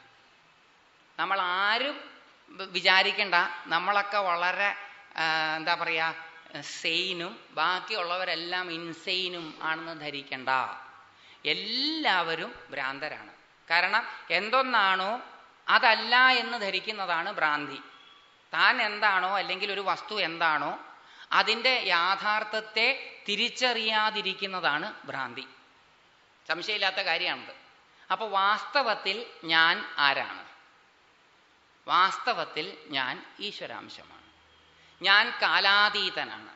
ദേശാതീതനാണ്. കാലാതീതനായ ദേശാതീതനായ നാമരൂപാതീതനായ ഞാൻ വിചാരിക്കുകയാണ് ഞാൻ കാലത്തിന്റെ കുത്തൊഴുക്കിൽ ഇന്ന സമയത്ത് ജനിച്ചു. മരിക്കും. ഈ ശരീരം വ്യാപിച്ചിരിക്കുന്നത് മാത്രമാണ് ഞാൻ. ഈ ശരീരത്തിന്റെ പുറത്തുള്ളതെല്ലാം എന്റേതും എനിക്കുള്ളതുമാണെന്നാണ് എന്റെ ധാരണ. അപ്പോൾ എന്റെ പേര് ഒരു പേര് ഞാൻ വിളിക്കുന്നു എന്നെ. എനിക്ക് ഒരു പ്രായം ഞാൻ പറയുന്നു. അതായത് വന്നിട്ട് ഇത്ര സമയമായി എന്നാണ് അത് സൂചിപ്പിക്കണം. ശരിക്കും സമയം പറയുമ്പം വാസ്തവത്തിൽ വന്നിട്ട് ഇത്ര സമയമായി എന്ന് മാത്രമല്ല പറയുന്നത്. പോകാൻ ഇനി അധികം സമയമില്ല എന്നും കൂടിയാണ് പറയണത് ഓരോ പിറന്നാൾ ആഘോഷിക്കുമ്പോഴും ആഘോഷിക്കപ്പെടുന്നത് മരണത്തിലേക്കുള്ള ദൈർഘ്യക്കുറവിനെയാണ്. ജീവിതത്തിന്റെ ദൈർഘ്യത്തെ അല്ല ജനിച്ചതിൽ സന്തോഷിക്കുകയല്ല വാസ്തവത്തിൽ പിറന്നാളിലൂടെ ചെയ്യുന്നത് മരിക്കുന്നതിലുള്ള സന്തോഷമാണ് കാണിക്കുന്നത്. ഹാവു ഇനിയും കുറച്ചും കൂടെ കാലല്ലേ ഉള്ളൂ എന്ന് ജയിലിൽ കിടക്കുന്ന ഒരാളുടെ മോചന തീയതി അടുക്കുമ്പോഴുള്ള സന്തോഷമാണ് ഓരോ പിറന്നാൾ കഴിയുമ്പോഴും ഉണ്ടാകുന്നത്. ഷഷ്ടിപൂർത്തി സപ്തതി ശതാഭിഷേകമൊക്കെ നടക്കുമ്പം വാസ്തവത്തിൽ ഉണ്ടാകുന്നത് ഈ കാരാഗ്രഹത്തിൽ നിന്ന് ഇനി പെട്ടെന്ന് രക്ഷപ്പെടുമല്ലോ എന്നുള്ളതാണ്. വാസ്തവത്തിൽ നമ്മുടെ വിചാരം ഇത്രയും കാലം ജീവിച്ചതിലുള്ള സന്തോഷമാണ്. നമുക്ക് മാത്രമേ ഉണ്ടാവുള്ളൂ. ചുറ്റുള്ളവരൊക്കെ വെറുതെ പറയണതാണ് അപ്പോൾ ഇത് ശരിക്കും മരണത്തിലേക്കുള്ള അടുപ്പമാണ് ഈ കാണിക്കണം വലിയ ദൂരമൊന്നുമില്ല. അപ്പം കാലാതീതനും ദേശാധീതനുമായിട്ടുള്ള ഞാൻ വാസ്തവത്തിൽ കാലാധീനനും ദേശാധീനനുമായ ഗിരീഷാണ് എന്ന് വിചാരിക്കുന്നത് ശിവന് പറ്റിയ ഒരു ഭ്രാന്തി. ശിവന് പറ്റിയ ഭ്രാന്തി ആയതുകൊണ്ട് ശിവൻ ഇത്ര വയസ്സ് ആയി ഇന്ന സ്ഥലത്ത് ജനിച്ച ഇന്ന ശരീരത്തിന്റെ ഉടമയാണെന്ന് ധരിക്കുന്നത് കൊണ്ട് നമ്മൾ ഓരോരുത്തരും ഭ്രാന്തന്മാര്. കാരണം ശരിക്കുമുള്ളവർ ആരാണ് എന്ന് മനസ്സിലാക്കാതെ ശരിക്കുമുള്ളതല്ലാത്തതാണ് എന്ന് ധരിക്കുന്ന നമ്മൾ ഓരോരുത്തരും ഭ്രാന്തിയുള്ളവർ. അപ്പൊ നമ്മൾ ഓരോരുത്തരും ഭ്രാന്തരാണ്. ലുനാറ്റിക് അസൈലത്തിൽ കിടക്കുന്നവർ മാത്രമല്ല മെന്റൽ ഹോസ്പിറ്റലുകളിൽ കിടക്കുന്നവർ മാത്രമല്ല ഭ്രാന്തി ഉള്ളവർ പുറത്തിരിക്കുന്നവരും തുല്യ ഭ്രാന്തരാണ്. നമ്മുടെ ഭ്രാന്ത് പോലെയുള്ള ഭ്രാന്ത് ഇല്ലാത്തത് കൊണ്ട് അവരെ പിടിച്ച് അകത്തിടുന്നു. അങ്ങനെയാണ്. നമ്മുടെ ഭ്രാന്ത് പോലൊക്കെ തന്നെ ആയിരുന്നു അവർക്കും ഭ്രാന്തെങ്കിൽ അത് കുഴപ്പമൊന്നുമില്ല. ഒരു നല്ല ഇംഗ്ലീഷ് പുസ്തകമുണ്ട് if you meet the Buddha on the road killing എന്ന് പറയുന്ന ഒരു പുസ്തകമുണ്ട്. അതിൽ പറയുന്നുണ്ട് ഒരു പട്ടണത്തിൽ ഒരു വെള്ള വസ്ത്രം ധരിച്ച് ഒരു ജപമാലയും പിടിച്ച് ഒരാൾ വന്നാൽ അയാൾ മാത്രമേ ഉള്ളൂ എങ്കിൽ അയാളെ സമൂഹം പിടിച്ച് മെന്റൽ അസൈലത്തിൽ കൊണ്ടിടും. വെസ്റ്റേൺ സമൂഹത്തിലൊക്കെ വിശേഷമായിട്ട് ഇന്ത്യയിൽ അങ്ങനെയുള്ള ആൾക്ക് അത്ര വലിയ ബുദ്ധിമുട്ട് വരില്ല. ഇത് വെസ്റ്റിൽ എഴുതിയ പുസ്തകമായതുകൊണ്ട് വെസ്റ്റേൺ സാഹചര്യത്തിൽ ഇതേപോലെ ഒരു ഹാഫ് നേക്കഡ് ആയിട്ടുള്ള ഒരു മുണ്ട് മാത്രമല്ല ഒരു തോർത്ത് മാത്രമോ ഉടുത്ത ഒരാൾ ജപമാലയുമായിട്ട് ന്യൂയോർക്ക് സിറ്റിയിൽ പ്രത്യക്ഷപ്പെട്ടാൽ അയാൾ അസൈലത്തിൽ കൊണ്ടുവിടും. കാരണം അയാൾക്ക് എന്തോ പറ്റിയതുകൊണ്ട് അയാൾ അങ്ങനെ വരുന്നത്. പക്ഷെ അയാളുടെ പുറകെ ഒരു പത്തിരുപത്തഞ്ച് പേര് വന്നാൽ അതൊരു സൊസൈറ്റി ആണെന്ന് ധരിക്കും എന്നാണ് പറഞ്ഞത്. അപ്പം ഇത് കുറേ ഭ്രാന്തന്മാർ ഒരുമിച്ചുണ്ടെങ്കിൽ ആ ഭ്രാന്തും ഭ്രാന്തല്ല. കുറേ ഭ്രാന്തന്മാരുടെ ഇടയിൽ വ്യത്യസ്തമായിട്ട് ചിന്തിക്കുകയോ പ്രവർത്തിക്കുകയോ ചെയ്യുന്ന ഒരാളുണ്ടെങ്കിൽ അയാൾ ഭ്രാന്തൻ. ഇതാണ് ഭ്രാന്തിന്റെ ഡെഫിനിഷൻ അല്ലാതെ വേറെ ഡെഫിനിഷൻ ഒന്നും ഉണ്ടാവില്ല. അപ്പം ഈ ഡെഫിനിഷൻ ഒന്ന് മാറ്റി വെച്ച് കഴിഞ്ഞാൽ നമ്മളെല്ലാവരും ഭ്രാന്തരാണ്. ശരിക്കും ആരാണോ അതല്ല എന്ന് വിചാരിക്കുകയാണ്. അമര അമരനായ കാലാതീത ദേശാതീത സർവവ്യാപിയായ സർവജ്ഞനായ സർവതൃപ്തനായ ഒരു സത്ത വിചാരിക്കുകയാണ്. അതിന് തൃപ്തിപ്പെടാൻ ചില കാര്യങ്ങൾ വേണം. അത് ഇത്ര കാലമായി ഇവിടെ വന്നിട്ട് പെട്ടെന്ന് പോവും. അങ്ങനെ ലിമിറ്റഡ് ആയിട്ടുള്ള ഫീലിംഗ് ഉണ്ടാക്കുന്നത്. അതെല്ലാം ഭ്രാന്തിയാണ്. അൺലിമിറ്റഡിന് ലിമിറ്റഡ് ഫീലിംഗ് ഉണ്ടാക്കുന്ന ഉണ്ടായത് ഭ്രാന്തി കാരണമാണ് ആ ഭ്രാന്തി ദേവിയാണ്. ഈ സൃഷ്ടപ്രപഞ്ചത്തെ സൃഷ്ടിച്ച് നിർത്താൻ സഹായിക്കുന്നത് ദേവിയായതുകൊണ്ട് ഒരു വസ്തുവിന്റെ യാഥാർത്ഥ്യത്തെ മറച്ചുവെച്ച് അത് വേറൊന്നാണെന്ന് നമ്മളെ കൊണ്ട് തോന്നിപ്പിക്കുന്നത് ദേവി തന്നെയാണ്. ആ ദേവി അനുഗ്രഹിച്ചാൽ ഈ ഭ്രാന്ത് ഇല്ലാണ്ടാവും. പക്ഷെ അപ്പം നമ്മൾ അങ്ങനെ പറയുന്നയാളെ ഭ്രാന്തരായിട്ടും കാണും. ഇപ്പം നമ്മുടെ ഇടയിൽ ഒരാൾ പറയാണ് ആരാ നിങ്ങളെന്ന് ചോദിച്ചാൽ? ഇപ്പോൾ ഞാൻ പറയാണ് ഞാൻ എന്താണോ അതാണ്. എന്ന് പറഞ്ഞാൽ നിങ്ങൾ തമ്മിൽ നോക്കി ഒന്ന് ചിരിക്കും. ഇടയ്ക്കിടയ്ക്ക് ഞാൻ ഇങ്ങനെ പറയാൻ തുടങ്ങിയാൽ എന്നോട് പറയും നല്ലൊരു ഡോക്ടറുണ്ട് ഞങ്ങളുടെ വീട്ടിന്റെ അടുത്ത് അവിടെ കൊണ്ടുപോകാന്ന് പറയും. പിന്നെ കുറച്ചു കാലം ഞാൻ അങ്ങനെ തന്നെ പറയാൻ തുടങ്ങുകയും ചില സിദ്ധികളൊക്കെ ഞാൻ കാണിക്കുകയും ചെയ്താൽ നിങ്ങൾ എന്നെ ദൈവമായിട്ട് വെച്ച് പൂജിക്കുകയും ചെയ്യും. ഇതാണ് നമ്മുടെ സങ്കല്പ പ്രതികരണം ലോകത്തിനോട്. അപ്പൊ വ്യത്യസ്തമായിട്ട് ചിന്തിക്കുന്നവരെ ഉൾക്കൊള്ളാൻ ഇപ്പോഴും നമ്മൾ തയ്യാറല്ല. പണ്ടതായിരുന്നു പണ്ട് വ്യത്യസ്ത ചിന്താഗതികൾ അതുകൊണ്ടാണ് ഇവിടെ ഉണ്ടായത്. വ്യത്യസ്തമായ രീതിയിൽ ചിന്തിക്കുന്നവരെ മഹർഷിമാരായിട്ട് കണ്ടിരുന്ന ഒരു സംസ്കാരം. ചാർവാകനൊക്കെ മഹർഷിയാണ്. കാമസൂത്രം എഴുതിയ വാത്സ്യായനും മഹർഷിയാണ് ഈ നാട്ടിൽ. അപ്പോൾ വ്യത്യസ്തമായിട്ടുള്ള രീതിയിൽ ചിന്തിക്കുകയും പ്രതികരിക്കുകയും ചെയ്യുവാനുള്ള സ്വാതന്ത്ര്യം വ്യക്തിനിഷ്ഠമായിരുന്ന കാലത്തുണ്ടായിരുന്നു. പക്ഷെ അത് ആ വ്യക്തി മുഴുവൻ ഇല്ലാണ്ടായി സമൂഹത്തിന് പ്രാധാന്യം വന്നപ്പോൾ വ്യക്തി നിരപേക്ഷമായ ഒരു സമാ സമൂഹത്തെ പറ്റി ചിന്തിച്ചപ്പോൾ അങ്ങനെ ഒരു സമൂഹം ഉണ്ടാകാൻ വഴിയില്ല. വ്യക്തി നിരപേക്ഷമായിട്ടൊരു സമാ സമൂഹം ഉണ്ടാവില്ല. കാരണം വ്യക്തികളാണ് ഈ സമൂഹം ഉണ്ടാക്കുന്നത്. അതൊക്കെ വന്ന് പല ആശയങ്ങളും വന്നപ്പോൾ ഇതെല്ലാം പോയി തുടങ്ങി. അപ്പോൾ അതിന്റെ പ്യൂരിറ്റിയിലേക്ക് പോകുമ്പോൾ നമ്മൾ അതിന്റെ ഒറിജിനൽ വസ്തുവിലേക്ക് പോകുമ്പോൾ ഒന്ന് മറ്റൊന്നാണെന്ന് ധരിക്കുന്നത് ഭ്രാന്തി. സുഹൃത്താണ് എന്ന് ധരിച്ച് ശത്രുവിനെ വിശ്വസിക്കുന്നത് ഭ്രാന്തി. മരുന്നാണ് എന്ന് ധരിച്ച് വിഷം കഴിക്കുന്നത് ഭ്രാന്തി. വിഷമാണ് എന്ന് ധരിച്ച് മരുന്ന് കഴിക്കുന്നതും ഭ്രാന്തി. ഇതെല്ലാം ഭ്രാന്താണ്. ആ ഭ്രാന്തിക്ക് കാരണമായി നിൽക്കുന്നത് ഒന്ന് മറ്റൊന്നാണെന്ന് തോന്നിപ്പിക്കുന്നത് ദേവി. അങ്ങനെ തോന്നിപ്പിക്കുന്നത് ഈ പ്രപഞ്ചത്തിന്റെ നാനാത്വം നിലനിർത്താൻ വേണ്ടിയിട്ട്. അതുകൊണ്ട് ഏതൊരു ദേവിയാണോ സർവചരാചരങ്ങളിലും ഭ്രാന്തിയായി നിലകൊള്ളുന്നത്? ആ ദേവിക്കായിക്കൊണ്ട് നമസ്കാരം. യാ ദേവി സർവഭൂതേഷു ഭ്രാന്തിരൂപേണ സംസ്ഥിത നമസ്തസ്യൈ നമസ്തസ്യൈ നമസ്തസ്യൈ നമോ നമ. ഇവിടെ എത്തിയപ്പോഴത്തേക്കും ആ യാ ദേവി എന്നുള്ള സെറ്റ് കഴിഞ്ഞു. പല പുസ്തകങ്ങളിലും വ്യത്യാസമുണ്ടാകും. നിങ്ങളുടെ കയ്യിലിരിക്കുന്ന പുസ്തകം ഏതാണോ അതിൽ പറഞ്ഞിരിക്കുന്നത് വായിക്കാം. അതിൽ കുറേ വിട്ടുപോയിട്ടുണ്ട്. പുഷ്ടി നീതി തുടങ്ങിയ കുറേ സാധനങ്ങൾ വിട്ടുപോയിട്ടുണ്ട്. അതിനൊക്കെ അർത്ഥം നിങ്ങൾക്ക് കൊടുക്കുകയും ചെയ്യാം. നിങ്ങളുടെ വകയായിട്ട് എന്തെങ്കിലും ഇതിനകത്ത് ആഡ് ചെയ്യണമെന്നുണ്ടെങ്കിൽ അതും ചെയ്യാം. അങ്ങനെ ചെയ്തതുകൊണ്ടാണ് ഈ വ്യത്യസ്തമായിട്ടുള്ള പാഠഭേദങ്ങൾ ഉണ്ടായിട്ടുള്ളത്. ഈ ഒരു വേർഷൻ മാത്രമേ ശരിയായിട്ടുണ്ടായിരുന്നുള്ളൂ എങ്കിൽ ഈ ഒരു വേർഷൻ മാത്രമേ സ്പ്രെഡ് ചെയ്യുണ്ടായിരുന്നുള്ളൂ വ്യത്യസ്തമായിട്ടുള്ള യാദേവി സർവഭൂതേഷു നീതിരൂപേണ സംസ്ഥിത യാദേവി സർവഭൂതേഷു പുഷ്ടിരൂപേണ സംസ്ഥിത അപ്പം യാ ദേവി സർവഭൂതേഷു ജുഗുപ്സാരൂപേണ സംസ്ഥിത. യാ ദേവി സർവഭൂതേഷു ശത്രുരൂപേണ സംസ്ഥിത. യാ ദേവി സർവഭൂതേഷു മിത്രരൂപേണ സംസ്ഥിത. നമുക്ക് ഇഷ്ടമുള്ളതൊക്കെ അതിനകത്ത് ചേർക്കാം. കാരണം ഇതെല്ലാം ദേവിയാണ്. നമ്മളുടേതായിട്ടുള്ള ഒരു വേർഷൻ നമുക്കുണ്ടാക്കാനുള്ള സ്വാതന്ത്ര്യമുണ്ട്. അങ്ങനെ സ്വാതന്ത്ര്യമുണ്ട് എന്നുള്ളത് കൊണ്ടാണ് ചില പുസ്തകങ്ങളിൽ ഒരുപാട് യാദേവി സർവഭൂതേഷു പറയുന്നുണ്ട്. ചിലതിൽ കുറച്ചേ പറയുന്നുള്ളൂ. അത് വ്യക്തിപരം. നിങ്ങൾക്ക് ഇഷ്ടമുണ്ടെങ്കിൽ ചേർക്കാം. ചേർത്താൽ ആരും നിങ്ങളെ ശിക്ഷിക്കാൻ വേണ്ടി ഇറങ്ങി വരില്ല. നിങ്ങൾ അഞ്ചെണ്ണയെ ഞാൻ പറഞ്ഞിട്ടുള്ളല്ലോ. ആറെണ്ണം ചേർത്തത് കൊണ്ട് നിങ്ങൾ ഈ ചൊല്ലി പുറത്തോട്ടിറങ്ങുമ്പം തല ആ വാതുക്കലിടിച്ച് പൊട്ടട്ടെ എന്ന് വിചാരിക്കില്ല ദേവി. അങ്ങനെ വിചാരിക്കുകയാണ് ദേവി എങ്കിൽ ആ ദേവിയോട് പറയണം ദയവായിട്ടൊന്ന് സ്ഥലം വിട്ടു തരണം. കാരണം ഞാൻ തെറ്റിദ്ധരിച്ചു പോയതാ. ഭ്രാന്തി എനിക്കുണ്ടായി. നീ വളരെ ഉയർന്ന ശക്തിയാണെന്നും വിശാലയാണെന്നും കാരുണ്യവതിയാണെന്നും സ്നേഹസ്വരൂപിയാണെന്നും തെറ്റിദ്ധരിച്ചു പോയത് കൊണ്ടാണ് അല്ലയോ അമ്മേ പണ്ട് ഞാൻ അങ്ങനെയാ വിളിച്ചിരുന്നത് ഇനി അങ്ങനെ വിളിക്കാൻ തീരുമാനിക്കുന്നില്ല. കാരണം ആ പദത്തിന് അർഹയല്ല. അതുകൊണ്ട് ദയവായിട്ട് എന്റെ വീട്ടിൽ നിന്ന് ഒന്ന് ഇറങ്ങിത്തരണം. കൂടിപ്പോയാൽ ആകെ ചെയ്യ എന്താ എന്നെ കൊല്ലുകയല്ലേ ഉള്ളൂ. ഏതായാലും ഞാൻ മരിക്കേണ്ടവനാണ്. അതുകൊണ്ട് ആ പേടി പേടിപ്പിക്കണ്ട. അത് എന്ന് ഒറ്റ പ്രാവശ്യം പറഞ്ഞു നോക്ക് സംഗതികളൊക്കെ കറക്റ്റാവും ദേവിമാരെല്ലാം കറക്റ്റായിരിക്കും അല്ലെങ്കിൽ എന്ത് പറ്റുമെന്ന് വെച്ചാൽ രണ്ട് ലിറ്റർ പാൽപ്പായസം തന്നില്ല അല്ലേ? എന്നാൽ മകൻ എസ് എസ് എൽ സി എഴുതുമ്പോൾ തോറ്റുപോട്ടെ. അങ്ങനെ മകൻ എസ് എസ് എൽ സി എഴുതി തോറ്റുപോയാൽ നമ്മൾ പ്രശ്നം വയ്ക്കും അതോടുകൂടി പ്രശ്നം ഉണ്ടാവും. പ്രശ്നം വെച്ച് കഴിയുമ്പോൾ പറയും എവിടെയോ എന്തോ നേർന്നില്ലേ? നേരാത്ത മലയാളികൾ ഉണ്ടാവില്ലല്ലോ. എന്ത് പറ്റിയാലും അടുത്തുള്ള അമ്പലങ്ങളിലൊക്കെ നേരും കാര്യം സാധിച്ചു കഴിഞ്ഞാൽ കൊടുക്കൂല നമ്മൾ അപ്പം നേർന്നിട്ടുണ്ട്. സംഗതിയൊക്കെ നേർന്നിട്ടുണ്ടെന്ന് പറയും. ആ ആ പായസം കിട്ടാത്തത് കൊണ്ട് ദേവി കോപിച്ചതാ. രണ്ട് ലിറ്റർ പായസം കിട്ടാത്തത് കൊണ്ട് ദേവി കോപിക്കുമെങ്കിൽ ആ ദേവി ആരാധ്യയാണോ എന്ന് നമ്മൾ ചിന്തിക്കേണ്ട സമയം അതിക്രമിച്ചിരിക്കുന്നു. നമ്മുടെ ഭക്തിയും നമ്മളുടെ ഈശ്വരോന്മുഖമായ പ്രയാണങ്ങളുമൊക്കെ പുനഃപരിശോധനയ്ക്ക് വിധേയമാക്കേണ്ടിയിരിക്കുന്നു.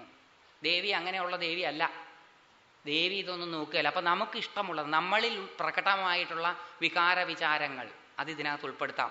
അത് ഉൾപ്പെടുത്തിയാലുള്ള ഗുണം എന്താണെന്ന് വെച്ചാൽ അതാണ് പേഴ്സണലൈസ് ചെയ്യുക എന്ന് പറയുന്നത്.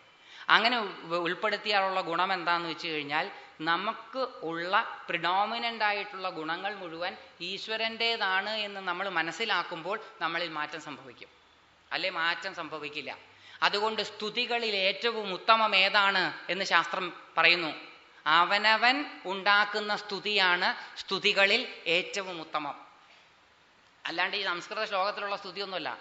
നമുക്കറിയാവുന്ന ഭാഷയിൽ നമ്മൾ ഉണ്ടാക്കുന്ന സ്തുതിയാണ് ഏറ്റവും ഉത്തമം. രണ്ടാമത്തേത് ഋഷികളും രണ്ടാമത്തേത് ദേവന്മാരുടെ സ്തുതി. ദേവന്മാർ സ്തുതിച്ചത് അതിലും ശ്രേഷ രണ്ടാമത്തേത്. മൂന്നാമത്തേത് ഋഷികൾ സ്തുതിച്ചത്. നാലാമത്തേത് മാത്രമേ ഉള്ളൂ സാധാരണ മനുഷ്യര് സ്തുതിക്കുന്നത്. അപ്പോൾ ഏറ്റവും പ്രധാനപ്പെട്ട സ്തുതി ശാസ്ത്രം അസന്ദിഗ്ധമായിട്ട് പറയുന്നു അവനവൻ ഉണ്ടാക്കുന്ന സ്തുതിയാണ്. അപ്പോൾ ഈ സ്തോത്രങ്ങളിലെല്ലാം ഈ ആ ദേവി എന്നുള്ള ഭാഗങ്ങളിൽ നമുക്ക് ഇഷ്ടമുള്ള മാറ്റങ്ങൾ വരുത്താം. ഇതിലെ ചിലത് വേണ്ട എന്ന് വെക്കാൻ ചില ഭാവങ്ങളൊന്നും നമുക്കുണ്ടായി എന്ന് വരില്ല. അപ്പോൾ ആ ഭാഗങ്ങൾ മാറ്റാം. നമ്മളിലുള്ള ഭാഗങ്ങൾ അവിടെ വെക്കാം. നമ്മളിലുള്ള ആ ഭാഗങ്ങൾ മാറുമ്പോൾ അത് മാറ്റി വേറെ വെക്കാം. ഇതിനുള്ള എല്ലാ സ്വാതന്ത്ര്യവും നമുക്കുണ്ട്. നമ്മളത് ഉപയോഗിക്കാത്തത് നമ്മുടെ കുഴപ്പം. ഉപയോഗിച്ചാൽ ദേവി കോപിക്കില്ല. കോപിച്ചാൽ ആ ദേവിയോട് ചോദിക്കാനുള്ള ധൈര്യം ഉണ്ടാകണം ഈശ്വരനോട് പോലും നിവർന്നു നിന്ന് ചോദിക്കുവാൻ ധൈര്യമുണ്ടായിരുന്നു ഈ സംസ്കാരത്തിൽ ജീവിച്ചിരുന്നവർക്ക്. ഈശ്വരൻ പറയുന്നത് പോലും അധാർമികമാണെന്ന് തോന്നുകയാണെങ്കിൽ അതനുസരിക്കാതിരിക്കുവാനുള്ള ധൈര്യവും ഇവിടെയുള്ളവർക്കുണ്ടായിരുന്നു എന്നുള്ളതിന്റെ ഉത്തമ ദൃഷ്ടാന്തമാണ് കർണൻ. കർണനോട് അവസാന കാലത്ത് കൃഷ്ണൻ ചെന്ന് പറയാണ് കുരുക്ഷേത്ര യുദ്ധം തുടങ്ങാൻ കുറച്ച് ദിവസങ്ങളെ മാത്രമേ ഉള്ളൂ കൃഷ്ണൻ ചെന്ന് പറയാണ് നീ വാസ്തവത്തിൽ രാധേയനല്ല കൗന്ദേയനാണെന്ന്. അതിനു മുമ്പ് കുറച്ചു മുമ്പ് കുന്തിദേവി ആ രഹസ്യം വന്ന് പറഞ്ഞിട്ടാ പോയത്. അതുകൊണ്ട് ഷോക്കിംഗ് ആയിരുന്നില്ല അർജുനനത് അല്ല കർണനത്. രാജ്യം കൊടുക്കാമെന്ന് പറഞ്ഞു പാഞ്ചാലിയെ കൊടുക്കാമെന്നും പറഞ്ഞു മണ്ണും പൊന്നും ആണ് മനുഷ്യ പെൺ മണ്ണും പെണ്ണുമാണ് മനുഷ്യനെ വഴിതെറ്റിക്കുന്നത്. കനകം മൂലം കാമിനി മൂലം കലഹം പലവിധം ഉലകിൽ സുലഭം. കനകത്തിലും കാമിനിയിലും വീഴാത്തവൻ കർണൻ. സുന്ദരിയായ പാഞ്ചാലിയുടെ പാണി ഗ്രഹിക്കണമെന്ന് തോന്നാത്തവൻ. ഈ ഹസ്തിനാപുരിയുടെ മുഴുവൻ അധിപനായി തീരണം ചക്രവർത്തിയാകണം എന്ന് ആഗ്രഹിക്കാത്തവൻ. തന്റെ മാനം രക്ഷിച്ചവനോടുള്ള തന്റെ കടപ്പാട് വീട്ടാൻ വേണ്ടി തന്റെ മുമ്പിലേക്ക് ഈശ്വരൻ തന്നെ വെച്ച് നീട്ടിയതെല്ലാം വേണ്ട എന്ന് പറയുവാൻ ധൈര്യം കാണിച്ച കർണനെ ഏറ്റവും അധികം പുകഴ്ത്തുന്നത് മരണാനന്തരം ശ്രീകൃഷ്ണ പരമാത്മാവാണ് എന്നുള്ളത് ഭാരതം വായിച്ചാൽ മാത്രമേ മനസ്സിലാവുകയുള്ളൂ.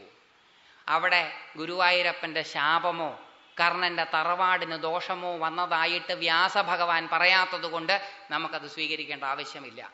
അപ്പോൾ ഭഗവാൻ പറയുന്നത് പോലും താൻ ഏറ്റെടുത്തിരിക്കുന്ന ധർമ്മത്തിന് വിരുദ്ധമാണ് എങ്കിൽ അതിനെ ചോദ്യം ചെയ്യുവാനും അനുസരിക്കാതെ അനുസരിക്കാതിരിക്കുവാനുമുള്ള അവകാശം അത് ധിക്കാരമല്ല. അത് താൻ ഏറ്റെടുത്തതിനോടുള്ള തന്റെ കടപ്പാടാണ്. ഇതാണ് ഭാരതീയ സംസ്കാരം. ഇതാണ് ഭാരതത്തിലെ ഈശ്വരൻ. എന്നെ മനസ്സിലാക്കുകയും ഞാൻ ആരാണോ അതായിട്ട് എന്നെ സ്വീകരിക്കുകയും എന്നെ സംരക്ഷിക്കുകയും ചെയ്യുന്നവനാണ് എന്റെ ഈശ്വരൻ. ആ ഈശ്വരനാണ് എന്നേക്കാൾ മുകളിലുള്ളവൻ ആ ഈശ്വരന്റെ പാദപത്മങ്ങളെയാണ് ഞാൻ പ്രണമിക്കുന്നത്. അതുകൊണ്ട് ധൈര്യമായിട്ട് ഈ ശ്ലോകങ്ങളിൽ നമുക്ക് ചേർക്കാവുന്നവ ചേർക്കാം. മാർക്കണ്ഡേയ മഹർഷിക്ക് വിരോധമുണ്ടാവുകയില്ല. അതുകൊണ്ടാണ് പല പാഠഭേദങ്ങൾ ഉണ്ടായിട്ടുള്ളത്. പല പാഠ പാഠഭേദങ്ങളിൽ നമുക്കൊരു പാഠഭേദവും വരുത്താം. സംശയിക്കേണ്ട ആവശ്യമില്ല. അപ്പോൾ അത് മന്ത്രങ്ങളാവും ഈ എഴുന്നൂറ് മന്ത്രങ്ങളാവില്ല എന്ന് മാത്രം ഈ എഴുന്നൂറ് മന്ത്രങ്ങൾ നിത്യപാരായണത്തിന് ആവശ്യമുള്ളതല്ല. ഈ എഴുന്നൂറ് മന്ത്രങ്ങൾ ഹോമത്തിന് ആവശ്യമുള്ളതാണ് പാരായണത്തിന് ആവശ്യമുള്ളതല്ല. അതുകൊണ്ട് നമുക്ക് നമ്മുടേതായിട്ടുള്ള അഡീഷൻസ് വെക്കാം. നമ്മളിലുള്ള പ്രിഡോമിനന്റ് ആയിട്ടുള്ള ക്വാളിറ്റീസ് എല്ലാം യാ ദേവി സർവഭൂതേഷു ഡാഷ് രൂപേണ സംസ്ഥിത നമസ്തസ്യൈ നമോ നമ. ഡാഷ് നമുക്ക് ഇഷ്ടമുള്ളത് ഫില്ല് ചെയ്യാം. ഭഗവതി പ്രസാദിക്കും. കാരണം ശാസ്ത്രമുണ്ട് അവനവന്റെ സ്തുതിയാണ് ഈശ്വരന് ഏറ്റവും ഇഷ്ടം. രണ്ടാമതേ മഹർഷി ദേവന്മാരുടെ മൂന്നാമത്തത് മഹർഷിമാരുടെ നാലാമത്തും നാലാമത്തത് സാധാരണ മനുഷ്യരുടെ. അപ്പോൾ അത് ആ സെറ്റ് അവിടെ തീരുകയാണ്. അങ്ങനെ ഇതുവരെ വികാരങ്ങളുടെയാണ് പറഞ്ഞത് പലതരത്തിലുള്ള വികാരങ്ങളാണ് പറഞ്ഞത്. പലതരത്തിലുള്ള വിചാരങ്ങളെ പറ്റി പരാമർശിച്ചു. ഈ വിചാര വികാരങ്ങൾ ഉണ്ടാക്കുന്നത് വാസ്തവത്തിൽ എന്താ? ഇന്ദ്രിയങ്ങളാണ്. ആ ഇന്ദ്രിയങ്ങളുടെ അധിഷ്ഠാത്രി അതിന്റെ നിയന്ത്രതാവ് ആരാണ്? അതാണ് അടുത്ത ശ്ലോകത്തിൽ പറയുന്നത്. അത് ഏഴര മണിയായി. നമുക്ക് അവിടെ നിർത്താം. ഞാൻ ഉദ്ദേശിച്ചത് തീരും നാളെ. അതുകൊണ്ട് ഈ രണ്ട് ശ്ലോകങ്ങളും കഴിഞ്ഞാൽ പാർവതീദേവി കുളിക്കാൻ വരികയാണ്. പാർവതീദേവി കുളിക്കാൻ വരുമ്പം ശിവനും പാർവതിയും തമ്മിലുള്ള ബന്ധവും ആ ശിവനും പാർവതിയും നമ്മുടെ ശരീരവുമായിട്ടുള്ള ബന്ധവും ആ പാർവതിയിൽ നിന്ന് ദേവി ഉണ്ടാകുന്നതും ഈ സ്തോത്രവുമായിട്ടുള്ള ബന്ധവും കൂടി നോക്കിക്കഴിയുമ്പം നമ്മുടെ ഏഴാമത്തെ ദിവസം ഇവിടെ അവസാനിക്കും. വീണ്ടും അടുത്ത ഏഴാമത്തെ ദിവസം കാണുന്നത് വരെ നാളെ നമുക്ക് പിരിയാം. നാളെ തീരുമ്പോൾ ഐഗിരി നന്ദിനി എന്ന കീർത്തനം കഴിഞ്ഞ പ്രാവശ്യം ചൊല്ലിയതുപോലെ വളരെ ഭക്തിമധുരമായിട്ട് ഇവിടെ ആലപിക്കും. ഒരു ലഘു പൂജയും ഇവിടെ അതോടൊപ്പം ഉണ്ടാകുന്നതായിരിക്കും. അങ്ങനെ നാളെ ത്തോടുകൂടി ഇതും ഈ അധ്യായം മുഴുവനാക്കാൻ നമുക്ക് ദേവി അനുവാദം തന്നിട്ടില്ല. അതുകൊണ്ട് നമുക്ക് ദേവി പറയുന്നിടത്ത് നിർത്തി. ബാക്കി അടുത്ത പ്രാവശ്യം നമുക്ക് കേൾക്കാം. അതുവരെ തൽക്കാലത്തേക്ക് ഇപ്പം നാളെ ഇന്ദ്രിയാണാമധിഷ്ഠാത്രി എന്നുള്ള ശ്ലോകമാണ് നാളെ മുതൽ നമ്മൾ കേൾക്കാൻ പോകുന്നത്. അവിടെ എത്തുമ്പോഴത്തേക്കും അമൂർത്തമായിട്ടുള്ള ആശയങ്ങൾ സമൂർത്തമായി സമൂർത്തമായി സമൂർത്തമായി ഭൗതിക തലത്തിലേക്ക് എത്തി എന്ന് കാണാൻ സാധിക്കും. ആ ഭൗതിക തലത്തിൽ നിന്നാണ് ദേവി ആവിഷ്കരിക്കപ്പെടുന്നത്. ഇതേ ഈ പ്രോസസ്സാണ് ഏത് പ്രശ്നത്തിനും പരിഹാരമായിട്ടുള്ളത് എന്ന് നമുക്ക് മനസ്സിലാകും നാളെ അതുവരെ നിർത്താം. നാളത്തെ സ്തോത്രവും പൂജയുടെ കാര്യം. സ്വാമിജി ആയിരിക്കും നാളത്തെ പൂജയും. കഴിഞ്ഞ പ്രാവശ്യത്തെ പോലെ തന്നെ ചെയ്യുക. ദീപാരാധനയും സ്വാമി സ്വാമിജി ചെയ്യുന്നതായിരിക്കും. ഭക്തി സാന്ദ്രമായിട്ടുള്ള പാട്ട് നമുക്കറിയാവുന്നവർക്ക് അതോടൊപ്പം അത് പാടുകയും ചെയ്യാം. അതേപോലെ തന്നെ ആ ഒരു ദിവസത്തെ മുഴുവൻ ഒരു മൂന്ന് ദിവസം മുഴുവൻ നീണ്ടു നിൽക്കുന്ന ക്യാമ്പിനെ കുറിച്ച് നമ്മൾ ഇന്നലെ സംസാരിച്ചു. കഴിയുന്നതും എല്ലാവരെയും ഉൾപ്പെടുത്തുവാൻ ശ്രമിക്കുന്നുണ്ട്. സ്ഥല പരിമിതി അനുവദിക്കുകയാണ് എങ്കിൽ അതിന് പേര് തന്നിട്ടുള്ള ആരെയും വിടാതെ എല്ലാവരെയും ഉൾപ്പെടുത്താനാണ് ഉള്ള ആലോചന നടക്കുന്നുണ്ട്. അതിന്റെ കാര്യങ്ങൾ നിങ്ങൾക്ക് ഇന്റിമേഷൻ കിട്ടുന്നതുമായിരിക്കും. അതുവരെ നാളെ കാണുന്നത് വരെ നിർത്തുവാൻ വേണ്ടിയിട്ട് നമുക്ക് ധ്യാനിക്കാം.